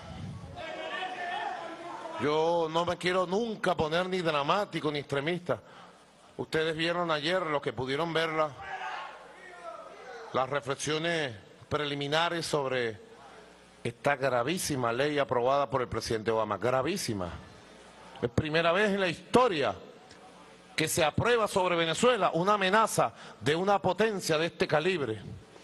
Primera vez en la historia de 200 años. Solo comparable en alguna medida con el bloqueo naval de 1902 contra el presidente Cipriano Castro y contra Venezuela entera. No hay otra comparación, no hay otra medida. En todas las partes, lo digo con absoluta serenidad, en todos los lugares donde Estados Unidos ha activado esta ley, ha entrado militarmente.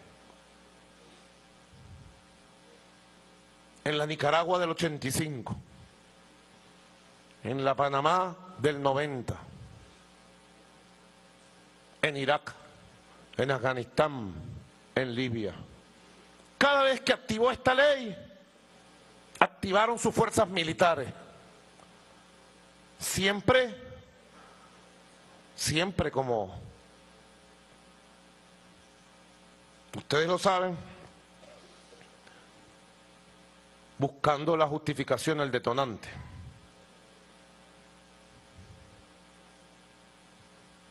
Así fue en la historia, desde hace 100 años. ¿Cómo entraron en la guerra llamada cubana americana española? Ellos explotaron un barco llamado Maine. Se escribe Maine y se pronuncia Maine. 1898. La historia después, ya para aquella época, se supo y después, bueno, están los documentos históricos. Los Estados Unidos explotó el Maine y hizo una campaña por prensa dentro de Estados Unidos para que la población apoyara entrar a la guerra y apoderarse de Cuba. Y después le impusieron a Cuba la enmienda placa y frustraron la victoria historia de los mambises, de los patriotas que había construido José Martí, quien dejó su vida en los campos de batalla, gran bolivariano, apóstol de la libertad cubana y americana. ¿Cómo entraron en la guerra de Vietnam? Con una provocación también, autogenerada. ¿Cómo invadieron Panamá? Asesinaron dos soldados estadounidenses. Y en la madrugada de ese día llegaron y bombardearon el barrio de Chorrillos. Muchos de ustedes conocen Panamá, viajan bastante para allá. Vayan al barrio de Chorrillos. Yo fui una vez, cuando la conferencia de la OEA, en el 2006, y lloré con el pueblo de Chorrillos allí, en privado. Tres mil muertos hubo en Chorrillos inolvidable masacre contra el pueblo de Panamá. ¿Cómo se metieron en Granada? Las fuerzas revolucionarias se dividieron, mataron a Mauro Bichot, quién sabe si un infiltrado captado por la CIA lo asesinó, y un país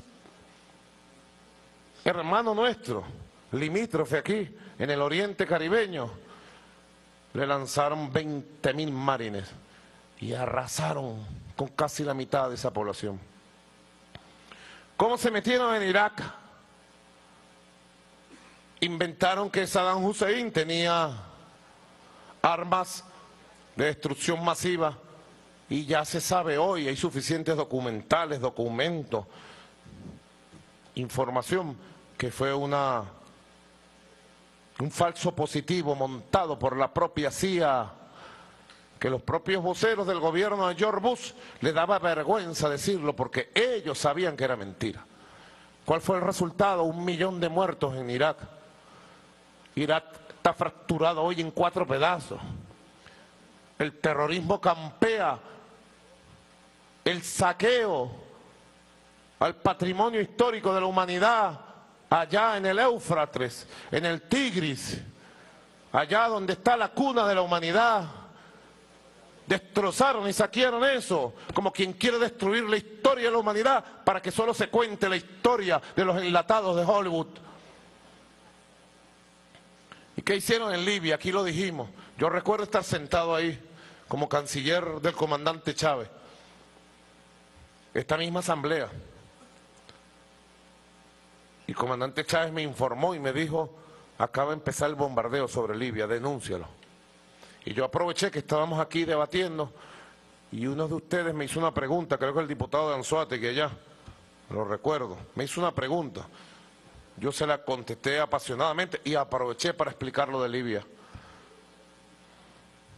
Lamentablemente todo lo que dijimos sucedió. Más de 60 mil operaciones de bombardeo, más de 200 mil muertos. ¿Y quién es Libia hoy? El país que tenía mayor desarrollo económico, social, mayores niveles de alfabetismo, de nutrición, de salud, de desarrollo económico, de estabilidad. Libia está partida en cuatro pedazos. Hay dos gobiernos, hay dos parlamentos. Libia la gobierna Al Qaeda y el Estado Islámico. ¿Y quién financió Al Qaeda y el Estado Islámico para que derrocaran a Muammar Gaddafi? Los Estados Unidos de Norteamérica. Ahora ellos no quieren aplicar a un país que quiere democracia, paz, debate de ideas, prosperidad, a un país que ha hecho 19 elecciones en 15 años y este año vamos a hacer la número 20 a un país que tiene una constitución sagrada surgida del debate público y del referéndum constitucional. Nos quieren aplicar el modelo libio. Es el modelo que nos quieren aplicar. Poseo suficiente información. No tengo que decir una palabra de más. Quizás tendría que decir algunas palabras de menos. A los padres, y madres de la familia venezolana que me escuchan, a los abuelos, abuelas, a la juventud que me escucha, a las mujeres que sienten la patria en sus hijos, en sus sueños, a los trabajadores, a las trabajadoras, a los profesionales, a los empresarios, a todos y todas me dirijo. La agresión y la amenaza del gobierno de Estados Unidos es la más grande amenaza que haya recibido jamás la República Bolivariana de Venezuela, nuestra patria. Y debe ser respondido con la unión de toda la patria, de toda la nación, con la unidad nacional. Cerrarnos en filas como un solo puño de hombres y mujeres que queremos paz, que queremos independencia. Llamo a toda la patria, más allá de las diferencias, ideológicas y políticas.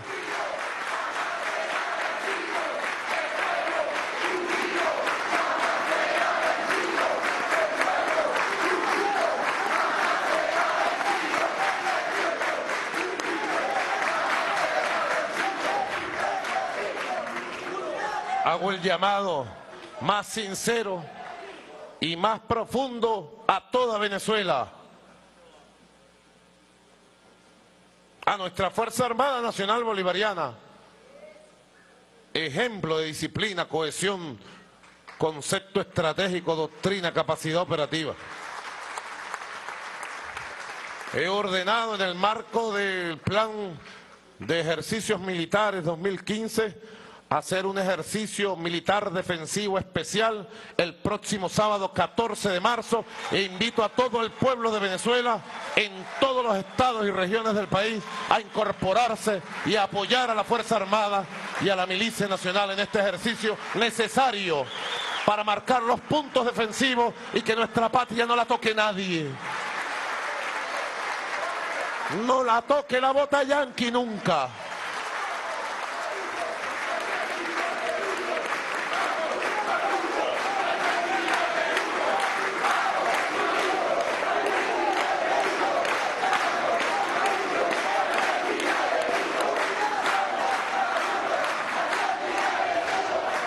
Como comandante en jefe, personalmente voy a conducir a través del Comando Estratégico Operacional y el comandante Vladimir Padrino López y los comandantes de las siete redes, voy a dirigir personalmente todo el despliegue de la fuerza.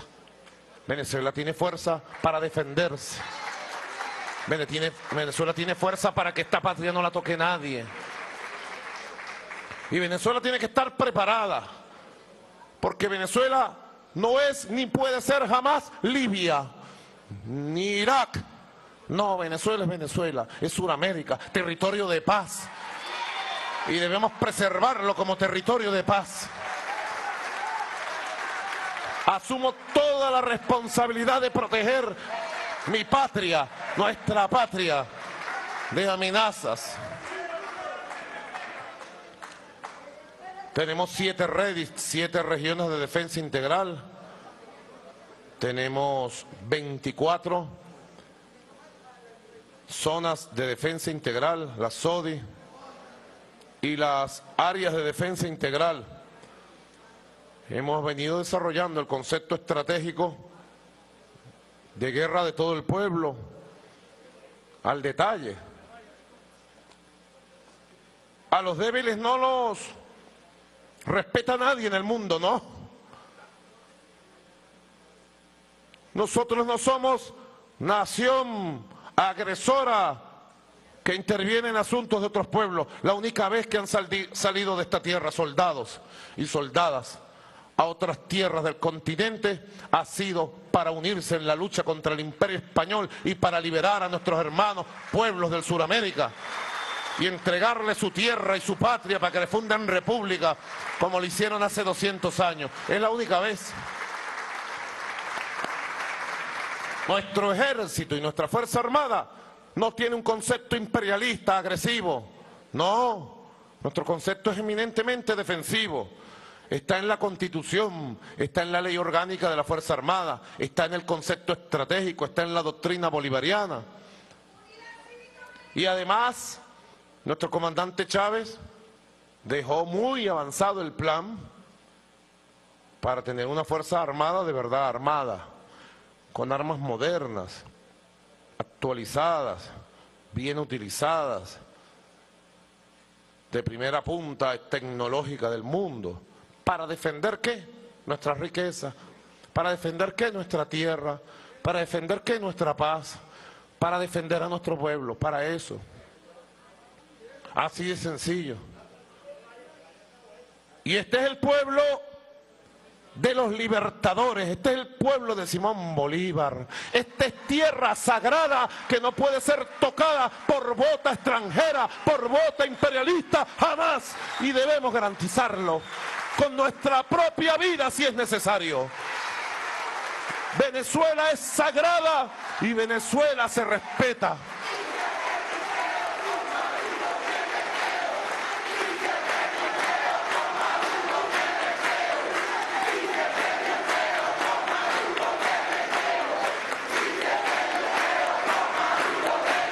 Eso,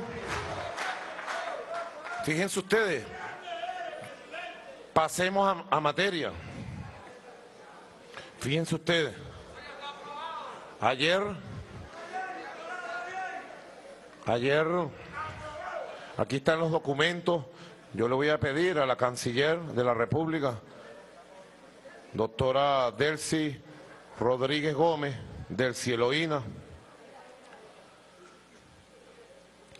que por favor a través de el canciller parlamentario Saúl Ortega, presidente de Parla Sur, nada más y nada menos, pues, presidente del Parlamento del Sur, le haga entrega a todos los diputados,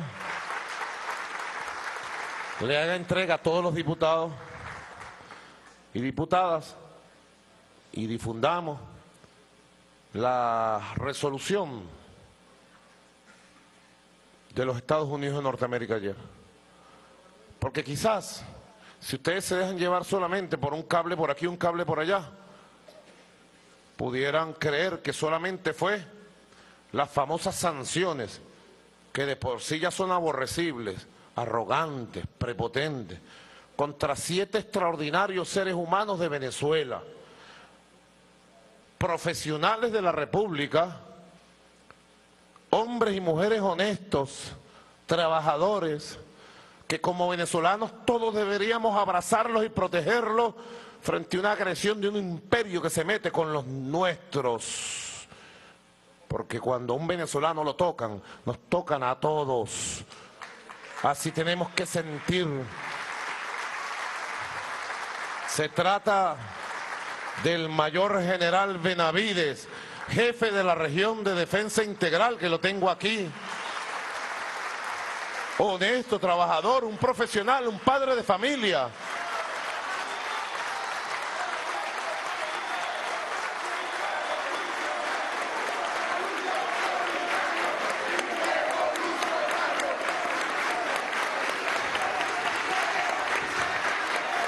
Es una agresión. Igualmente a quien desde ayer, con un espaldarazo necesario de apoyo, designé ministro de Interior, Justicia y Paz, lo designé ayer, se trata del mayor general ejército Gustavo Enrique González López. Hombre del pueblo, campesino, un campesino que llegó a mayor general, también padre de familia, hombre sencillo de este país.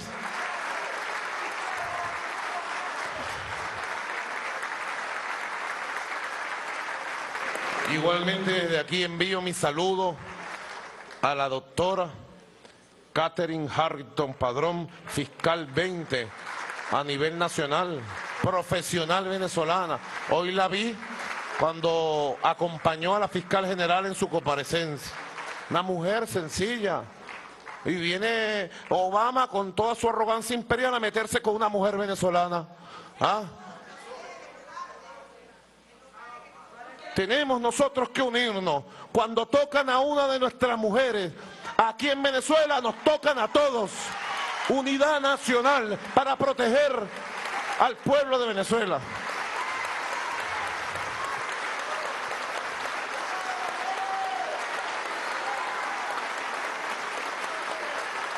No se trata, diputado Diosdado Cabello, diputado Elvis Amoroso, diputada Tania Díaz, junta directiva de esta soberanísima Asamblea Nacional.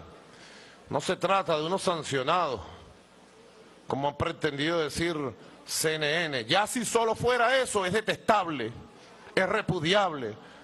Lo rechaza todo nuestro país, todo. No puede venir ningún gobierno del mundo a sacar una ley y pretender que esa ley se cumple en los demás países. No. Ahora es más que eso y es peor que eso.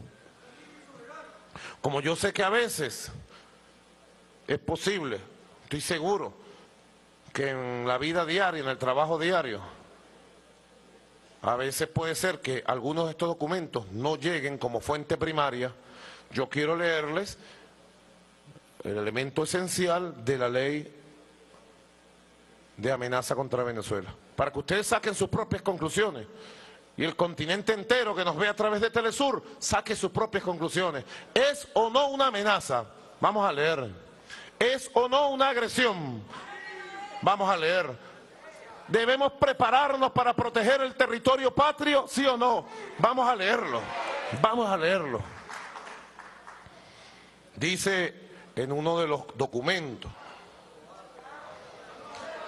la carta de declaración. Van para el baño, vale, déjenos tranquilos. Vamos a concentrarnos en esto. Esto es más importante que cualquier cosa. Miren lo siguiente, dice en la carta que envía el presidente Obama al Congreso ayer, oído, oído, oído, más importante que vayan para el baño, déjenlo tranquilito, tienen derecho.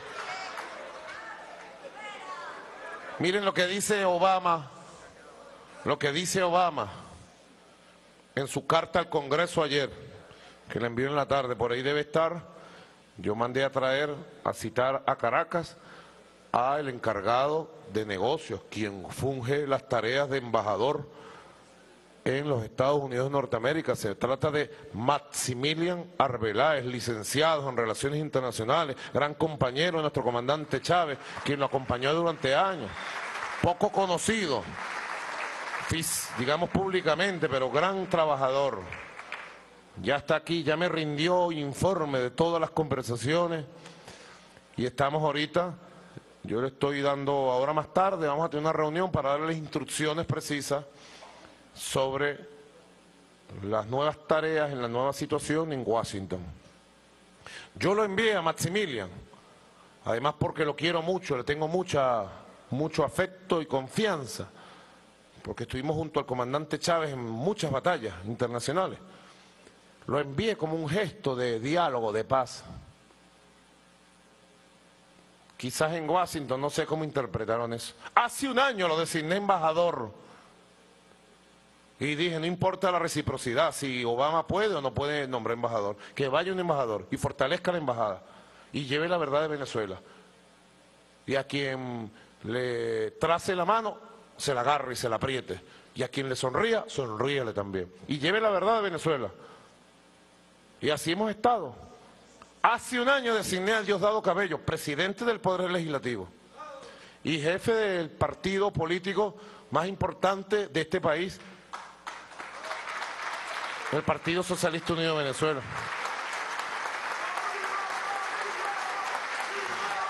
Lo designé jefe de una delegación especial para hacer conversaciones con el gobierno de Estados Unidos donde quisieran, como quisieran y de lo que quisieran.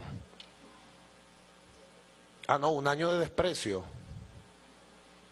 Al contrario, trataron de inventar contra Diosdado en el golpe de enero un conjunto de ataques bien, pudiéramos decir, además de ruines, miserables, balurdos, balurdos.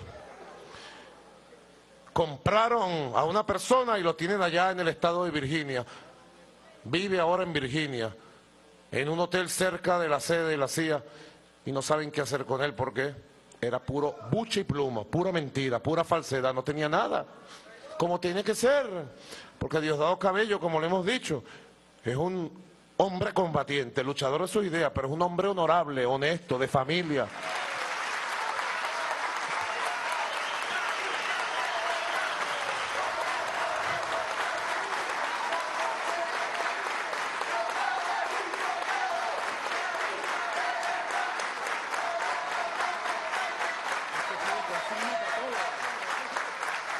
Mira, estos compañeros que están ahí arriba tienen una capacidad para hacer consigna. Lo que uno diga saca una consigna nueva.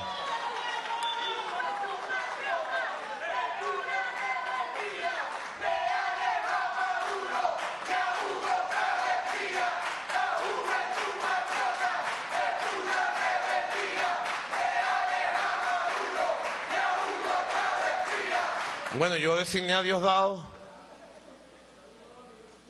y ellos patearon la mesa, no quisieron. Se pudo haber hecho una, dos, tres reuniones, donde ellos quisieran, donde quisieran en el mundo. Si había que ir al Tíbet, íbamos para el Tíbet. Hablar cualquier tema que quisieran hablar. Si querían público, con transmisión en vivo y directo, público en transmisión. Si lo querían privado, secreto, privado. Gestos de paz, gestos diplomáticos, de diálogos, gestos, gestos, gestos. Y ellos insistieron en el plan. ¿Ustedes saben por qué? Por lo que dije al principio. Porque ellos decían, Maduro no pasa de un año. Y han entrado en desesperación total. Porque sus planes fueron rotos por la realidad de una Venezuela real, no virtual, no informes falsos no encuestas falsas. Una Venezuela real que existe, que está allí, que está. Por eso tan grave lo que han hecho. Miren lo que dice la carta Barack Obama. Atención.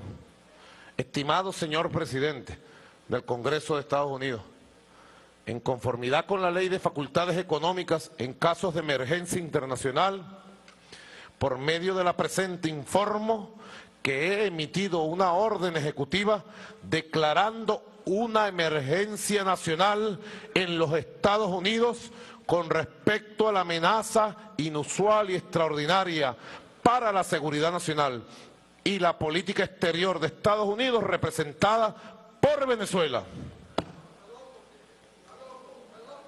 Está declarando una emergencia nacional en los Estados Unidos, en los Estados Unidos. O sea, declaró la emergencia en todo el territorio de Estados Unidos. Porque nuestro pequeño país, humilde pero digno, es una amenaza para ellos.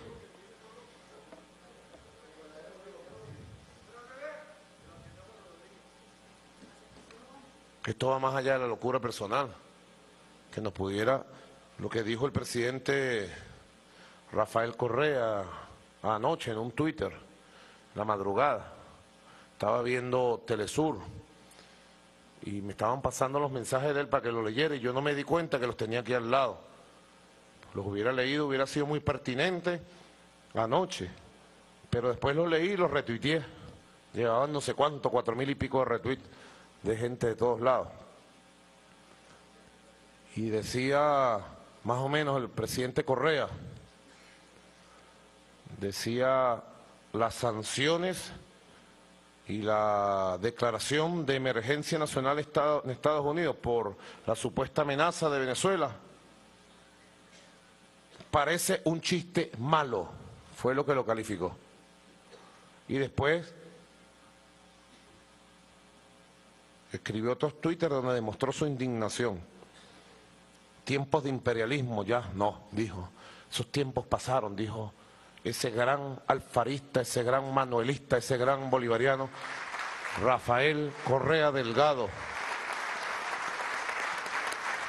presidente de la Comunidad de Estados Latinoamericanos y Caribeños, Ecuador.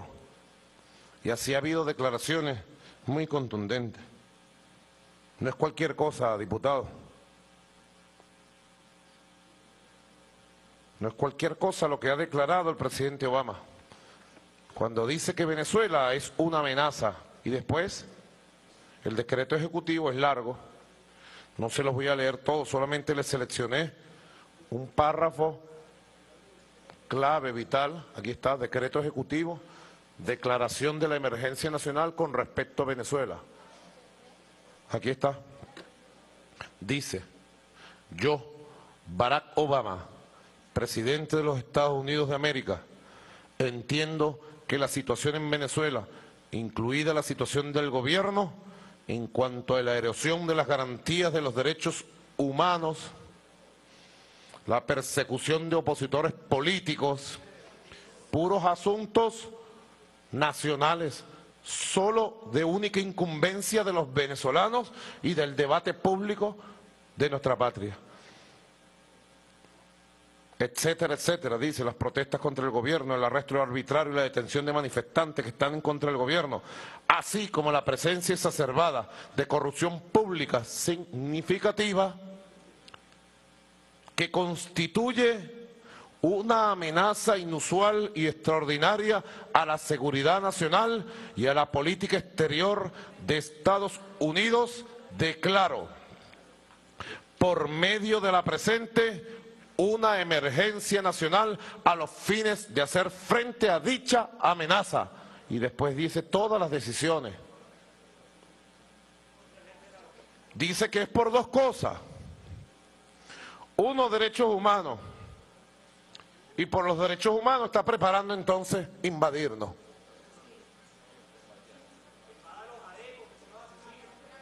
Otra corrupción, lo dice el imperio más corrupto del planeta. Y por la corrupción tienen listos los decretos, se los digo, tienen listos los decretos para declarar un bloqueo económico, comercial, financiero y energético sobre Venezuela con un bloqueo naval, tienen listos los planes y se la van a jugar si no los detenemos con la Unión Nacional y con el apoyo de América Latina y el Caribe, todos juntos. Llamo a la Unión Nacional para detener la locura de este imperio que amenaza a Venezuela. sí podemos detenerlo, sí podemos derrotarlos y que triunfe la paz, la soberanía, la independencia.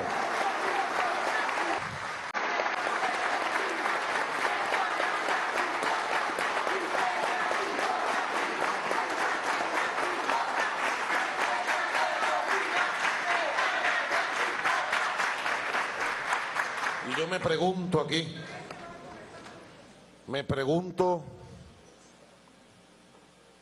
junto al pueblo de Estados Unidos, cualquier problema que tenga nuestro país es incumbencia nuestra.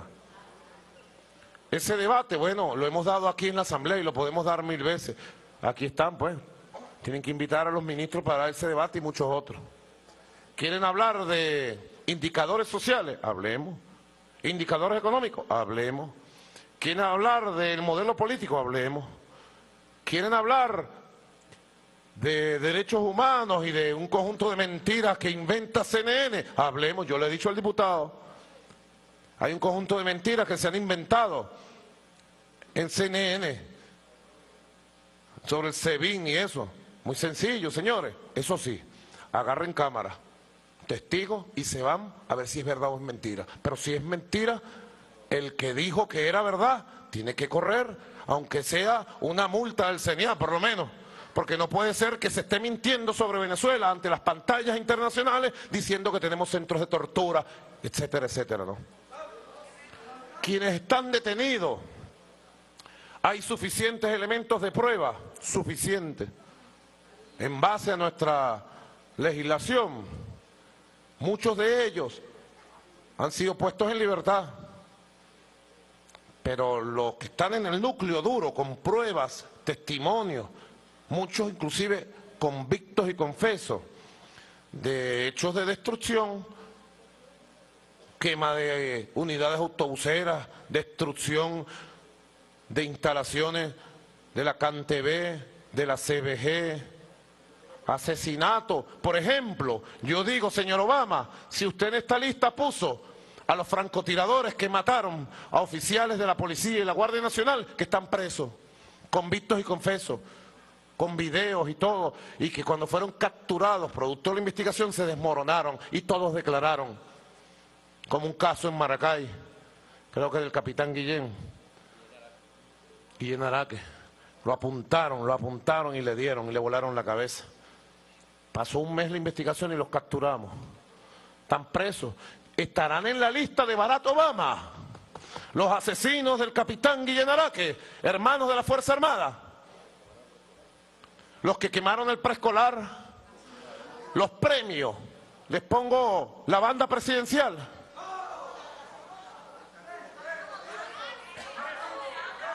Y más adelante ustedes saben, ustedes saben muy bien que hay unas figuras políticas totalmente comprometidas tenemos las pruebas. Están en los juicios. Viven en apartamentos cinco estrellas, pues. Con todas las condiciones. Pero la ley hay que respetarla. Nadie, ni yo, que soy presidente de la República, ninguno de ustedes puede llamar a, una, a un levantamiento inconstitucional para derrocar al gobierno. Ninguno de nosotros investidos de autoridad por el voto popular, puede violar la Constitución y quemar un país entero sin que la justicia actúe. Ah, esos son debates nacionales. Ustedes dirán una cosa, nosotros diremos otra. Al final la justicia. Y ustedes saben que como nunca antes, la justicia ha sido verdaderamente justa. Tan es así que el propio comandante Hugo Chávez en diciembre, 31 de diciembre, del 2007 sacó una ley para perdonar todos los delitos y crímenes cometidos en los golpes de Estado, sabotaje petrolero 2002-2003, donde fueron beneficiados parte de estas personas reincidentes. Ahora, son asuntos nacionales. Podemos debatir mil, mil cosas. Hoy, mañana, pasado mañana. Pero lo que no podemos aceptar es que por estos asuntos sean tomados por un imperio, el Estados Unidos, y nos amenace a nuestro país y diga que Venezuela es una amenaza a la seguridad de Estados Unidos porque Venezuela está haciendo justicia. No lo podemos aceptar. Nadie lo puede aceptar. Y declare una emergencia nacional. Y después me dé una orden. Aquí tengo una orden que me dieron ayer. Aquí está la orden que me da el secretario de prensa del presidente Obama, me da una orden desde la Casa Blanca. Me dice, después de decir una cantidad de cosas sobre esta ley, dice, el gobierno de Venezuela debe liberar a todos los prisioneros políticos que incluyen a decenas de estudiantes, al líder de la oposición, Leopoldo López, dice él que es el líder de la oposición, Leopoldo López, y a los alcaldes Ceballos y Ledesma. ¿Algún país puede aceptar esto? un país democrático, autónomo, soberano, puede aceptar una orden de la Casa Blanca y además que digan quién puede ser juzgado o no. Yo no soy un cobarde, ¿oyeron? Podré tener errores de cualquier tipo y ustedes señalen todos los errores que yo pueda tener, pero cobarde, de rodillas y traidor, jamás seré al pueblo, a la constitución y a la legalidad interna de mi país. Jamás cumpliré órdenes de Washington.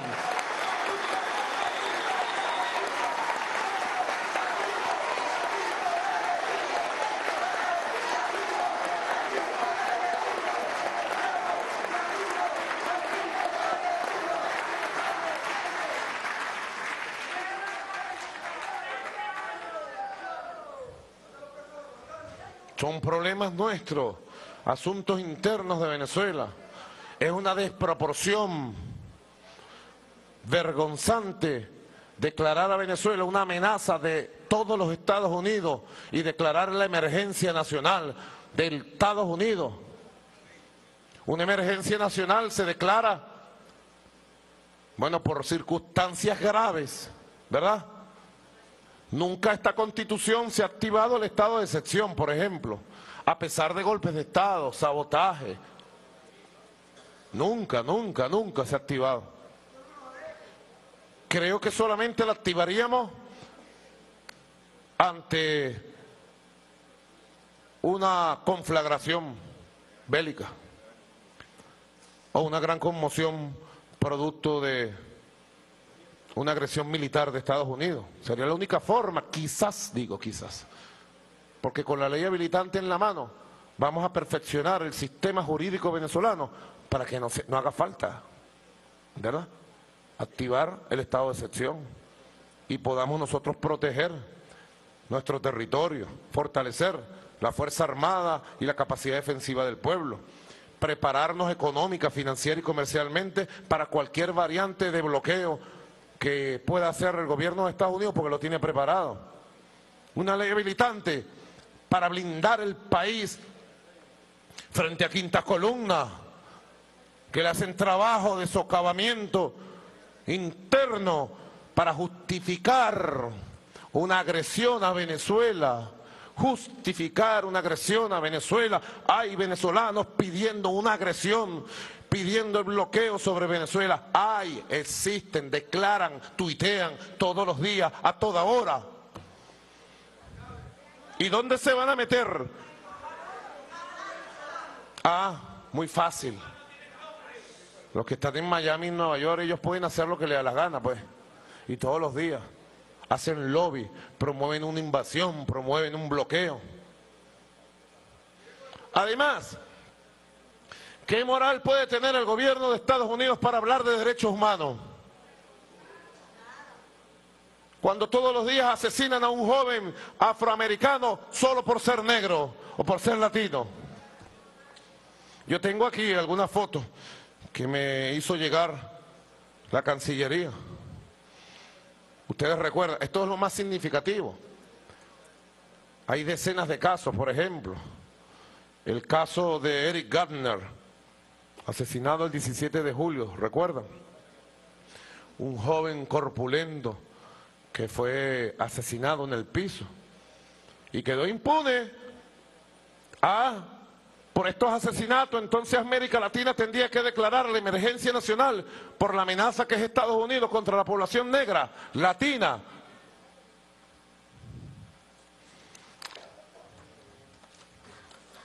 Aquí tenemos otros casos. El famoso caso de Mitchell Brown, Michael Brown, que quedó impune en Ferguson. ¿Y qué hace el presidente Obama? ¿Qué hace el gobierno de Estados Unidos?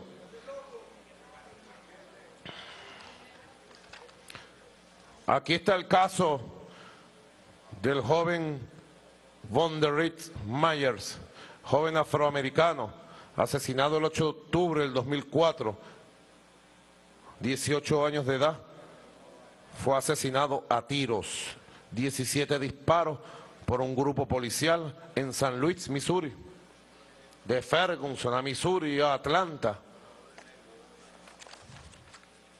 Aquí está el caso de este niño de 12 años, Timer Rice, doloroso, muy doloroso, de Cleveland, Ohio. Aquí está, Cleveland, Ohio. ¿Qué moral tienen de hablar de derechos humanos si violan los derechos de su propio pueblo todos los días de manera indiscriminada, brutal? Aquí está Antonio Zambrano Montes, hermano latinoamericano, migrante mexicano, que fue asesinado, perseguido y tiroteado, peor que se puede hacer con un animal en la frontera de México y Estados Unidos. Y como Antonio Zambrano, centenares de colombianos, salvadoreños, guatemaltecos, mexicanos son asesinados en la frontera todos los días.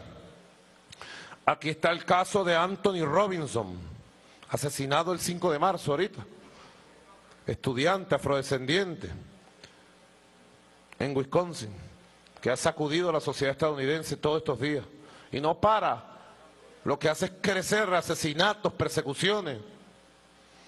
Puede hablar de derechos humanos el gobierno de los Estados Unidos y declarar a Venezuela una amenaza por los derechos humanos. No, no. Igualmente, igualmente las víctimas del fracking. Igualmente la violación de derechos humanos sobre niños. Yo estoy trayendo casos muy graves, puntuales, necesarios para refrescar la conciencia, para alimentar la conciencia. Ustedes saben cuántos niños fueron deportados hace una semana que estaban en campos de concentración de los Estados Unidos. 7.706, pero CNN no dice nada. ¿Ustedes saben cuántos niños tienen en los campos de concentración en espera de deportación? 62.363. Y miren cómo están, miren cómo están. Aquí tengo una foto. En Texas, uno de los campos de concentración en Texas. Esta es la verdad de los derechos humanos. Ahí están los niños. 7.700 niños y tienen 62.000 en campos de concentración, bebés de 5, 7, 8 años. Ah, ¿Dónde está la fibra humana del que ve esto? Aquí está otra foto de los niños como duermen. Y los tienen ahí por meses secuestrados de sus padres, de sus madres. Es una verdadera tragedia humana lo que está ocurriendo en la frontera de los Estados Unidos. Es una tragedia humana. Así que nos van a hablar a nosotros de derechos humanos, quienes son los campeones que violan los derechos humanos. La única amenaza que hay contra Estados Unidos está en Washington y son los lobbies de la guerra. Son los políticos y politiqueros que no le importa la salud, la vivienda, la educación, la vida de su pueblo. Son los racistas que tienen el poder fundamental en el Congreso para despreciar a los migrantes, para perseguirlos, para asesinarlos para tener campos de concentración de niños. Esa es la verdad que Venezuela dice con su voz libre, con mi voz libre, y que no nos va a callar nadie, ni hoy, ni nunca, ni con leyes, ni con amenazas, ni con nada. Es la verdad. Y con la verdad, como decía el caudillo oriental ni ofendo ni temo.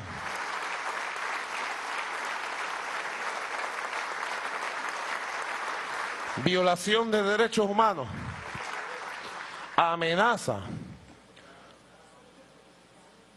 ante el abandono del gobierno de Obama y de todas las instituciones, la verdad verdadera es que el único que algún día prendió una luz de solidaridad con el pueblo de Estados Unidos fue el comandante Chávez y yo la mantengo prendida con el programa de Hitinoy y de Citgo que atiende a miles de familias, a miles de familias. El programa de calefacción atendió 153 mil hogares, 1.800.000 personas entre los años 2005 y 2014. Si no hubiera sido por Chávez, por Venezuela, por Hitinoy, buena parte de estas miles de personas hoy estuvieran muertas porque hubieran sido congeladas en el frío de un estado indolente, indolente. Entonces podemos aceptar que Venezuela se califique como una amenaza de los Estados Unidos, señores diputados, señoras diputadas. Yo espero de esta asamblea mucho. No solamente como sé que va a suceder la aprobación de esta ley habilitante para defender la soberanía y la paz de nuestra patria, esta ley habilitante antiimperialista. Espero mucho más. Espero que el mundo nos encuentre unidos en la defensa del derecho a la paz. Espero que el mundo nos encuentre unidos en esta Asamblea Nacional y más allá. Y lo digo temprano, lo digo temprano. Pido a Dios que no se den cuenta de una realidad macabra tarde. Pido a Dios de verdad que los ilumine a todos, a todas, a toda nuestra patria. Yo estoy seguro, tengo la, la certeza total de que esta batalla venezolana, latinoamericana y caribeña, por la defensa de Venezuela, de nuestra independencia, de nuestra paz, nosotros la vamos a ganar. Tengo esa certeza, esa convicción, como hemos vencido tantas batallas. Tengo la certeza de que los pueblos de América Latina y el Caribe lo que están haciendo hoy es incrementar más su conciencia. No se trata de sanciones a siete personas, que ya de por sí sería suficiente para reaccionar con pasión y con fuerza y unión nacional, no. Se trata de que Estados Unidos ha hecho la declaración más grave contra Venezuela y es una declaración injusta, injustificada, nefasta, amenazante, peligrosa. Y Venezuela tiene que ponerse de pie y reaccionar como un solo hombre, como una sola mujer, como un solo pueblo, reaccionar con la verdad de todos, con la verdad de todas. Yo quisiera ver esta Asamblea Nacional, de verdad lo pido, como jefe de Estado, sacar un comunicado público nacional, leído por todos, donde rechacemos que se declare a Venezuela como amenaza de los Estados Unidos. Una idea. En segundo lugar, donde se solicite al presidente Obama derogar esa ley que amenaza de una agresión militar a Venezuela y de un bloqueo, derogarla. Creo que en esos dos puntos pudiéramos ponernos de acuerdo todos, los venezolanos que creemos y que apostamos por la paz y la integridad. Y en tercer lugar, que no se inmiscuyan los asuntos internos que son solo de los venezolanos.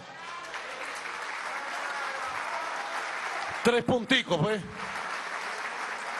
Creo que un diplomático como Saúl Ortega y una gran redactora como Desiree Santos Amaral pudieran ayudar a redactar un comunicado que haga historia.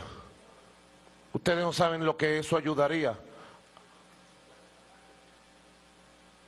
a parar la agresión. Los problemas internos los dirimimos. Cuando el CNE diga la fecha de elecciones, todos nos ponemos las camisas y nos vamos para la calle. Déjenme decirle, déjenme decirle, no se dejen engañar por los encuestólogos. Hay una realidad de un pueblo que tiene una conciencia y ese pueblo va a decidir. Déjenme decirle también que este pueblo tiene mucha conciencia y mucha fuerza. Si este pueblo en las elecciones que vengan este año decide una cosa, la respetaremos. Y si decide otra, también. Yo tengo fe total aquí. Aquí. Por el sol de Carabobo. Así lo siento, que vamos a tener una de las victorias más grandes que jamás haya tenido electoralmente las fuerzas de la patria. Es una certeza que tengo. Pero sea lo que sea, será respetado por nosotros. Será respetado por nosotros. Sea lo que sea.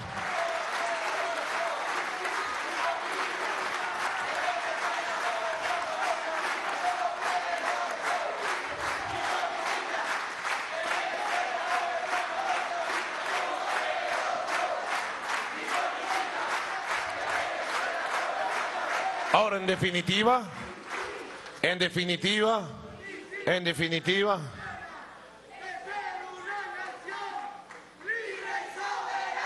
así es, en definitiva, esos asuntos los decidimos aquí, no en Washington. Quien va a votar es la mujer de Maracaibo, el hombre de San Félix, el pescador de Cumaná, el obrero de Valencia, ¿verdad? El deportista de Katia, ¿ah? Las mujeres de Propatria son las que van a votar, hombres y mujeres de aquí, no de Washington. Y nosotros, yo, les podría decir, hoy aquí, aquí, así. Si ustedes me ponen ahí un documento, lo firmo ya, de que vamos a reconocer los resultados electorales de las elecciones parlamentarias, lo firmo ya, sin duda. Digo, todos los que estamos aquí lo firmarían.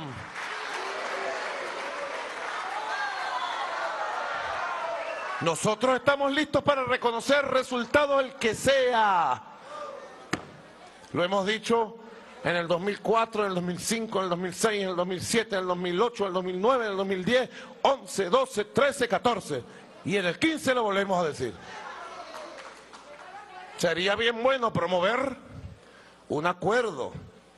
La presidenta del Poder Electoral, un acuerdo y que vayan todos los partidos y firmen un documento donde reconocen desde ya los resultados electorales que emita el Consejo Nacional Electoral que expresen la voluntad nacional. ¿Están preparados? Yo estoy preparado ya para firmarlo. Vamos a hacerlo.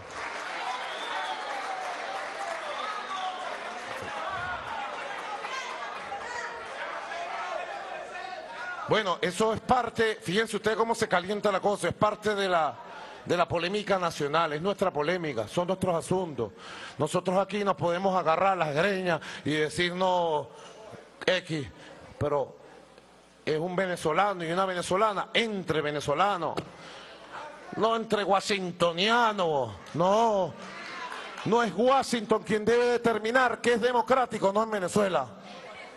Yo llamo a la dignidad máxima a nacionalizar la política, llamo a nacionalizar la política, a dignificarla, a elevarla, a romper las amarras con Washington, a romper las amarras con todas las formas de influencia, dominación.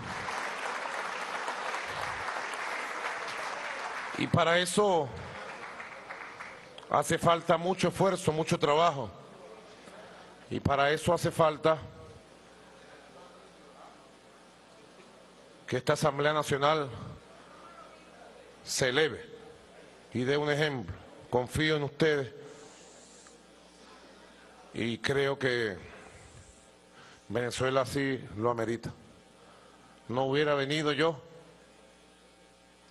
a expresar este mensaje si no estuviera convencido que estamos frente a una grave amenaza. No hubiera dado las órdenes de activar el despliegue de todos los planes defensivos de Venezuela de la manera que lo sabemos hacer, modestamente y con el apoyo del pueblo, si no estuviéramos frente a una grave amenaza. Han tratado de banalizar muchas veces denuncias que se han hecho. Nosotros tenemos el apoyo de mucha gente en el mundo.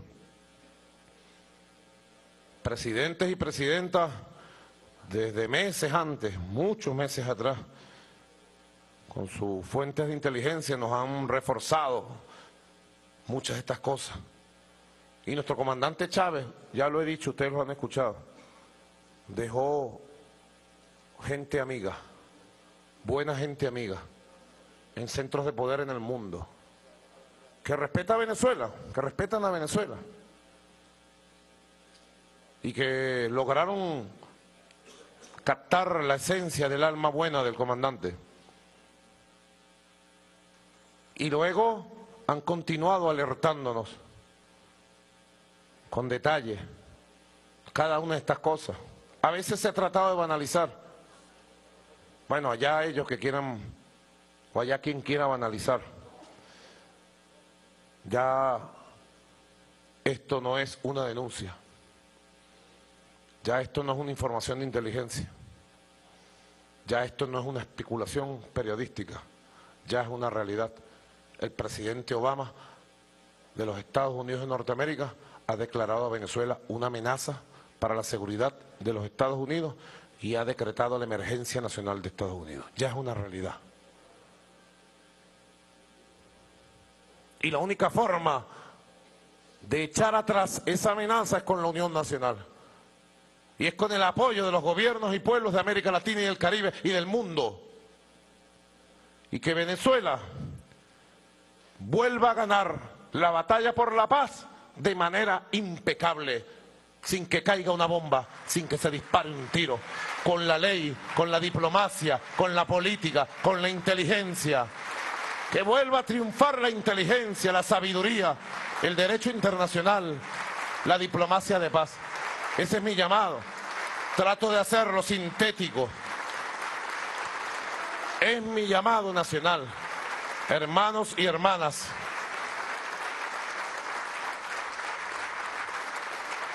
y tengo la certeza de que otra vez vamos a vencer, de que una vez más vamos a triunfar y que esto quedará como una página de la historia de la lucha nuestra por nuestra independencia, nuestra dignidad, nuestro derecho a tener voz, a ser nosotros mismos. Pueblo de Bolívar. Aquí tengo algo que leí ayer. Cuando uno lo lee en cualquier momento, ¿verdad? Earle. Earle es periodista, historiador y colonista. Como muchos de ustedes, William Ojeda también, periodista, estudioso de la historia. Compañero Jesús Faría, Darío, Blanquecao, estudiosos de la historia, muchos de ustedes. Comandante Fariña, de nuestra aviación militar, Pedro Carreño, de los que veo aquí, compañeros de cuántas luchas, ¿verdad? 1902, le tocó a un tachirense, honorable, no era un revolucionario, pero era un patriota, enfrentar la más grande agresión. Y pasó a la historia la proclama de Cipriano Castro, que creo que tiene vigencia total y absoluta.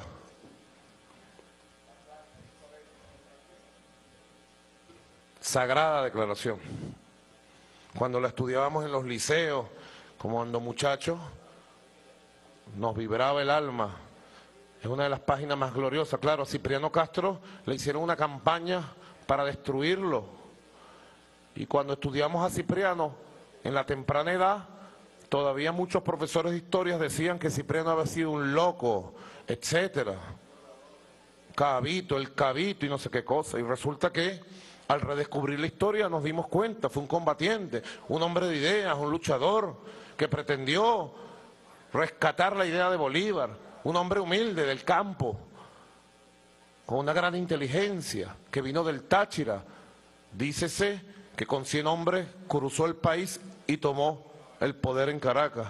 Y después fue traicionado por Juan Vicente Gómez, quien impuso una dictadura feroz. Y en su momento jugó el papel que le tocó. Si hubiera sido verdad todo el mito negativo sobre Cipriano Castro, solamente hubiera sido, solamente por este hecho histórico, ya hubiera brillado para siempre. Y su brillo hubiera tapado la oscuridad de cualquier error que hubiera cometido. Si fuese verdad el mito negativo, para aquellos que dudan de Cipriano Castro, 100 años después, brilló como el sol de Carabobo en la hora estelar de 1902. Y yo los llamo a ustedes, hombres y mujeres del pueblo, a que brillemos como el sol de Carabobo en esta hora estelar del año 2015 para defender el derecho a Venezuela a vivir en paz. El derecho a Venezuela a su autodeterminación, a su soberanía. Y dijo Cipriano Castro en su proclama histórica, que recorrió por los cuatro vientos, aunque no había internet ni televisión y todavía la radio no había llegado. Corrió por los cuatro vientos, llegó a Maturín, llegó a Ciudad Bolívar, llegó a San Fernando de Apure, por los caminos rápidos. Y todo el pueblo se alistó, se fue a los cuarteles a alistarse y a pedir fusiles. No alcanzaron los fusiles para tantos hombres y mujeres que fueron a pedir y a comprometerse. Hora grande de la historia, donde el pueblo dijo presente. Venezolanos, la planta insolente del extranjero ha profanado el sagrado suelo de la patria. Un hecho insólito en la historia de las naciones cultas, sin precedentes sin posible justificación, hecho bárbaro, porque atenta contra los más rudimentarios principios del derecho de gentes, hecho innoble, porque fruto del conturbenio inmoral y cobarde de la fuerza y la alevosía.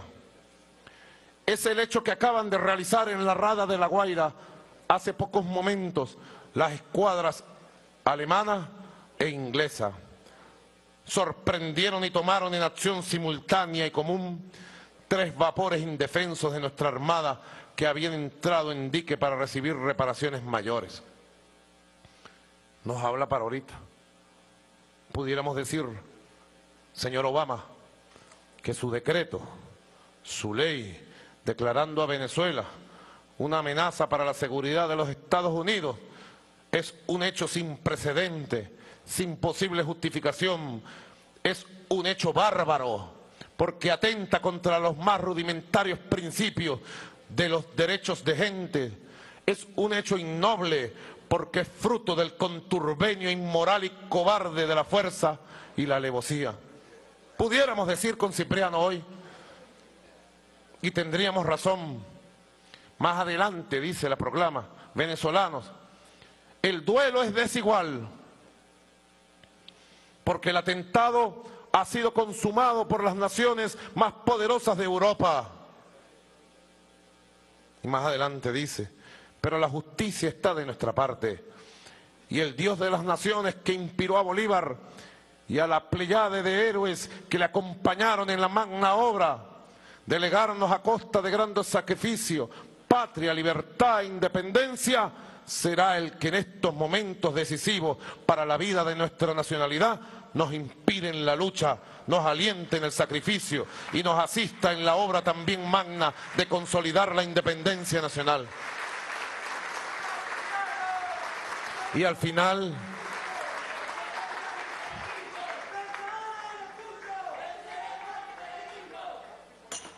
y al final de esta proclama del 9 de diciembre de 1902, dice el presidente Cipriano Castro, venezolanos, el sol de Carabobo vuelve a iluminar los horizontes de la patria y de sus resplandores seguirán y surgirán temeridades como las queseras del medio, sacrificios como el de Ricaute, asombros como el de Pantano de Vargas, heroísmos como el de Rivas y héroes como los que forman la constelación de nuestra gran epopeya. Hoy, por una feliz coincidencia, conmemoramos la fecha clásica de la gran batalla decisiva de la libertad sudamericana, la batalla de Ayacucho. Hagamos votos porque nuevos sucres vengan a ilustrar las gloriosas páginas de nuestra historia patria. Cipriano Castro. No le ha faltado a Venezuela nunca nuevos sucres. No le ha faltado a Venezuela en los momentos decisivos la presencia de los patriotas. Y siempre los más humildes. El pueblo es el que ha estado más claro con su instinto histórico qué debe hacer en cada circunstancia. Confío en el pueblo de Venezuela en ustedes hombres y mujeres de trabajo, en ustedes jóvenes de estudio, en los hombres y mujeres de los barrios, de los campos, de las fábricas. Confío en ustedes para que la unión más grande que podamos generar, en la movilización más grande de conciencia que podamos generar, con el apoyo de América Latina y el Caribe, logremos desmontar, echar para atrás y derrotar la ley que declara Venezuela amenaza contra los Estados Unidos y la agresión y la amenaza latente del imperio estadounidense contra la patria de Bolívar, contra la patria de Hugo Chávez. Confío en la historia, confío en el pueblo y sé que vamos a vencer estas dificultades también. Somos el pueblo de las dificultades, somos el pueblo de los vencedores. Y el destino está escrito, el destino está escrito.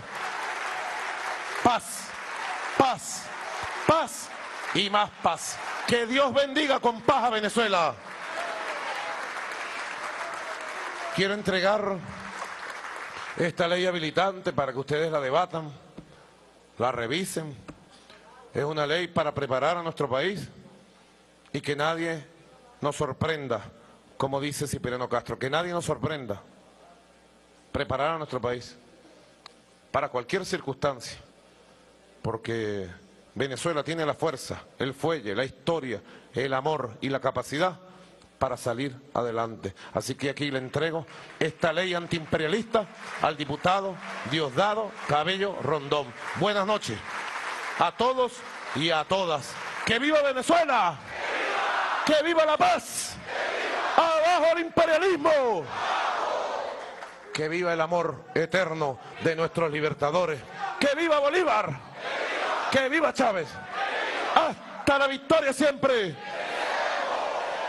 En estos momentos el presidente de la República hace entrega de esta propuesta legislativa que busca ampliar las capacidades del Ejecutivo Nacional para garantizar la defensa estratégica de la nación ante la amenaza que representa la petición que realizó Barack Obama al Congreso de los Estados Unidos. De esta manera, el presidente de la República expone los motivos que hacen en estos momentos al pueblo venezolano llamar a la unidad y a la defensa de la nación, ya que el imperio más grande de la humanidad en la actualidad trata de socavar la paz de Venezuela por medio de instrumentos jurídicos que buscan irrumpir contra la soberanía del pueblo venezolano. En estos momentos el jefe de Estado conversa con miembros del alto mando militar y sube a saludar a la directiva de la Asamblea Nacional la cual presenció conjuntamente con los diputados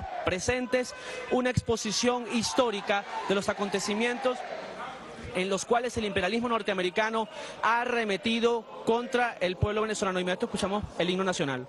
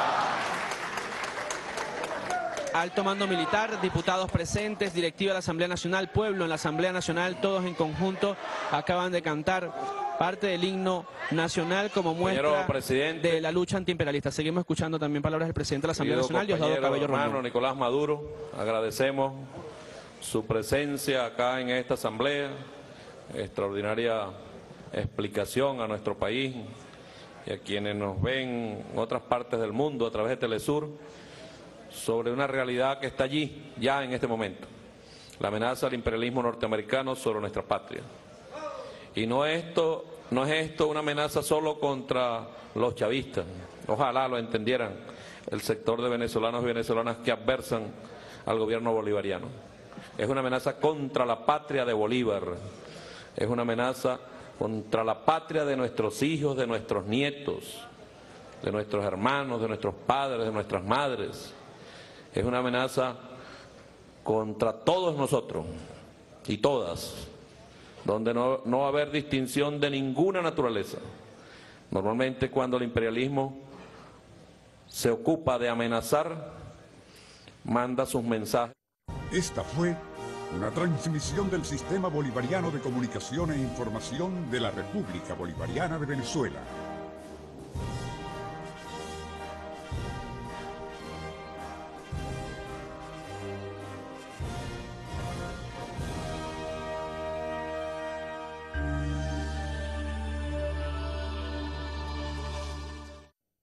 A estar unidos en defensa de la patria bolivariana, nuestra patria libre, soberana e independiente. Por mucho que adversen el proyecto bolivariano chavista, por mucho que sea adversado, creo que muy pocos venezolanos estarían dispuestos a arrodillarse ante amenazas del imperialismo norteamericano. Mucha gente, hemos recibido muchísima, muchísimo apoyo de sectores que no son chavistas, donde manifiestan su indignación, su rabia, su impotencia ante el abuso de quien hoy bueno, dirige el más grande imperio quizás de todos los tiempos. No tenemos dudas que nuestro pueblo va a salir airoso, compañero presidente. Y para nada deseamos para nuestro país un momento de guerra. No, no, por Dios, somos enemigos de la guerra. No queremos ni guerra aquí en Venezuela, ni guerra en ninguna parte del mundo. Somos propulsores de la paz en cualquier parte.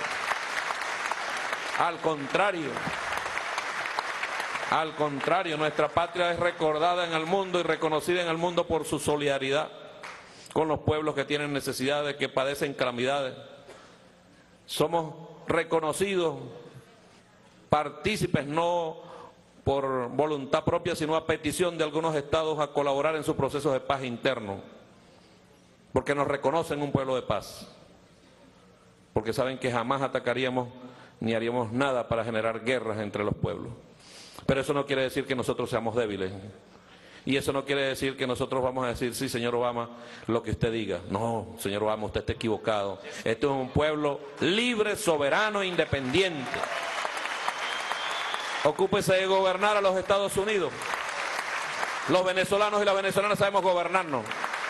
Aquí durante 40 años y un poco más, el país fue gobernado por un sector de este país. De manera equivocada, según nuestra apreciación. Total y absoluta. De manera equivocada. Y de manera pacífica nuestro pueblo se dio un cambio. Y es el cambio que estamos viviendo en este momento en paz, en democracia y nosotros estamos obligados para las futuras generaciones seguir preservando nuestro país en paz y en democracia verdadera. Hoy esta ley, querido presidente, nosotros vamos a llevar la primera discusión. Aquí han venido diputados que están hasta afectados de salud. Cuando el clarín de la patria llama, hasta el llanto de la madre calla. Donde estemos, estaremos para apoyar la paz y la tranquilidad. Nuestra propuesta es un mundo socialista. Entendemos que el imperialismo norteamericano no le gusta, pero dejen que nos equivoquemos nosotros mismos y que corrijamos nosotros mismos nuestros errores y que seamos capaces de decirle a todo el mundo que si hay una oportunidad de salvar no solo a Venezuela, sino a todo el mundo a través del socialismo. Seamos y sigamos siendo el ejemplo para muchos pueblos, nuestra, nuestra propuesta, donde no haya exclusiones, donde aquellos olvidados de toda la vida que no sabían ni leer escribir, ahora saben leer y escribir, donde aquellos que habían perdido hasta la vista, hasta la visión por una simple operación, gracias al socialismo y al comandante Hugo Chávez, ahora pueden ver la luz del sol. A aquellos que jamás y nunca pensaban estudiar, ahora andan estudiando. Aquellos que no tenían una pensión para nada, o decir, una pensión de hambre y de miseria, ahora vamos rumbo a los 3 millones de venezolanos y venezolanas atendidos. Y seguiremos avanzando. Que es un niño sonriente. Mire, presidente, yo me paré en estos días que fuimos de Maturín a, a Cumaná, a Cumaná, pasamos por Cumanacoa, donde pasamos con el comandante Chávez. Y nos paramos en un sector que se llama Cedeño pueblo, allá donde hubo la inundación. Y nos metimos en una casa, pasa para acá, Diosdado, ¿verdad Jesús? Y en la sala de la casa estaba una niña con su canaimita estudiando. En capitalismo, eso no es posible. Pueblo humilde, trabajador, ¿vale? Déjenos tranquilos, señor Obama. Nosotros no nos metemos con nadie, pero estamos obligados a hacer lo que tengamos que hacer para defendernos. Y aprobar esta ley habilitante es parte de eso, compañero presidente. Cuente con nuestro apoyo. Ojalá Ojalá haya sectores de la oposición que entiendan que esto no se trata de una cosa para el chavismo, se trata de una cosa para defender la patria y a todos y cada uno de los venezolanos y venezolanas. Muchísimas gracias, compañero presidente, por estar acá. Muchísimas gracias. Nuestro mensaje a los venezolanos, cuenten que esta Asamblea Nacional siempre, siempre estará defendiendo a los venezolanos y a las venezolanas. Bien, son las palabras del presidente de la Asamblea Nacional, Diosdado Cabello, quien hace un recuento de todo el compromiso social que ha asumido la revolución bolivariana y que se ha seguido profundizando con el presidente obrero Nicolás Maduro Moros, destacando que ya van rumbo a los 3 millones de pensionados a nivel nacional, que continúan todos los proyectos sociales y de esta manera se demuestra que la opción que se sigue defendiendo desde el gobierno nacional es una opción que reivindica las mayorías del país y que beneficia en todos los sectores Les sociales. pido a los compañeros diputados, eh, Elvis Amoroso sigue con la sesión en todos los rincones del país continúa este tipo de proyecto social al cual se opone el gobierno de los Estados Unidos. Queremos finalmente en la retirada del presidente de la República del hemiciclo protocolar recordar algunas de sus palabras más importantes, entre ellas destacamos que hizo un recuento histórico de los últimos 200 años de injerencias y amenazas por parte de los Estados Unidos. Aseguró que no podrán con nosotros, no han podido y no lo harán en estos tiempos de revolución. También manifestó que la ley habilitante es una ley habilitante antiimperialista. Destacó también que cada vez que Estados Unidos señaló o eh, generó un documento parecido, una petición parecida al Congreso, todas estas acciones imperialistas culminaron en intervenciones militares, tanto en América Latina como en otras partes del mundo. Destacó que es la amenaza más importante o más difícil que ha enfrentado el país en los últimos años en nuestra patria, motivo por el cual llamó a la unidad nacional de todos los sectores, finalmente solicitando a toda la Asamblea Nacional en pleno, tanto a sectores de oposición como de la revolución, a condenar el ataque de esta ley, a instarle a Barack Obama su derogación y a que se evite que Estados Unidos se inmiscuya en los asuntos internos del país. Es parte de la información que se ha generado desde acá, desde el Palacio Federal Legislativo donde nosotros eh, ofrecemos esta transmisión para todos ustedes y con estos mismos detalles en estos momentos nosotros pasamos a dar sin duda detalle de este discurso simbólico, importantísimo, histórico que ha dado el presidente de la República, en, el cual no solamente destacó las luchas que se han dado en los últimos años en el país, sino que también destacó todas las intervenciones estadounidenses en los últimos años en diferentes partes de Latinoamérica. Manifestó que esta nueva amenaza no es solamente contra Venezuela, sino que es eh, total contra el pueblo venezolano, pero también contra la comunidad latinoamericana y caribeña, motivo por el cual instó a la unidad nacional, pero también a la unidad latinoamericana y del Caribe. Pues unidos seremos invencibles, señalaba el presidente de la República. Es parte de información que se generó desde acá, el Palacio Federal Legislativo, y nosotros con esta misma retornamos este contacto a los estudios. Adelante.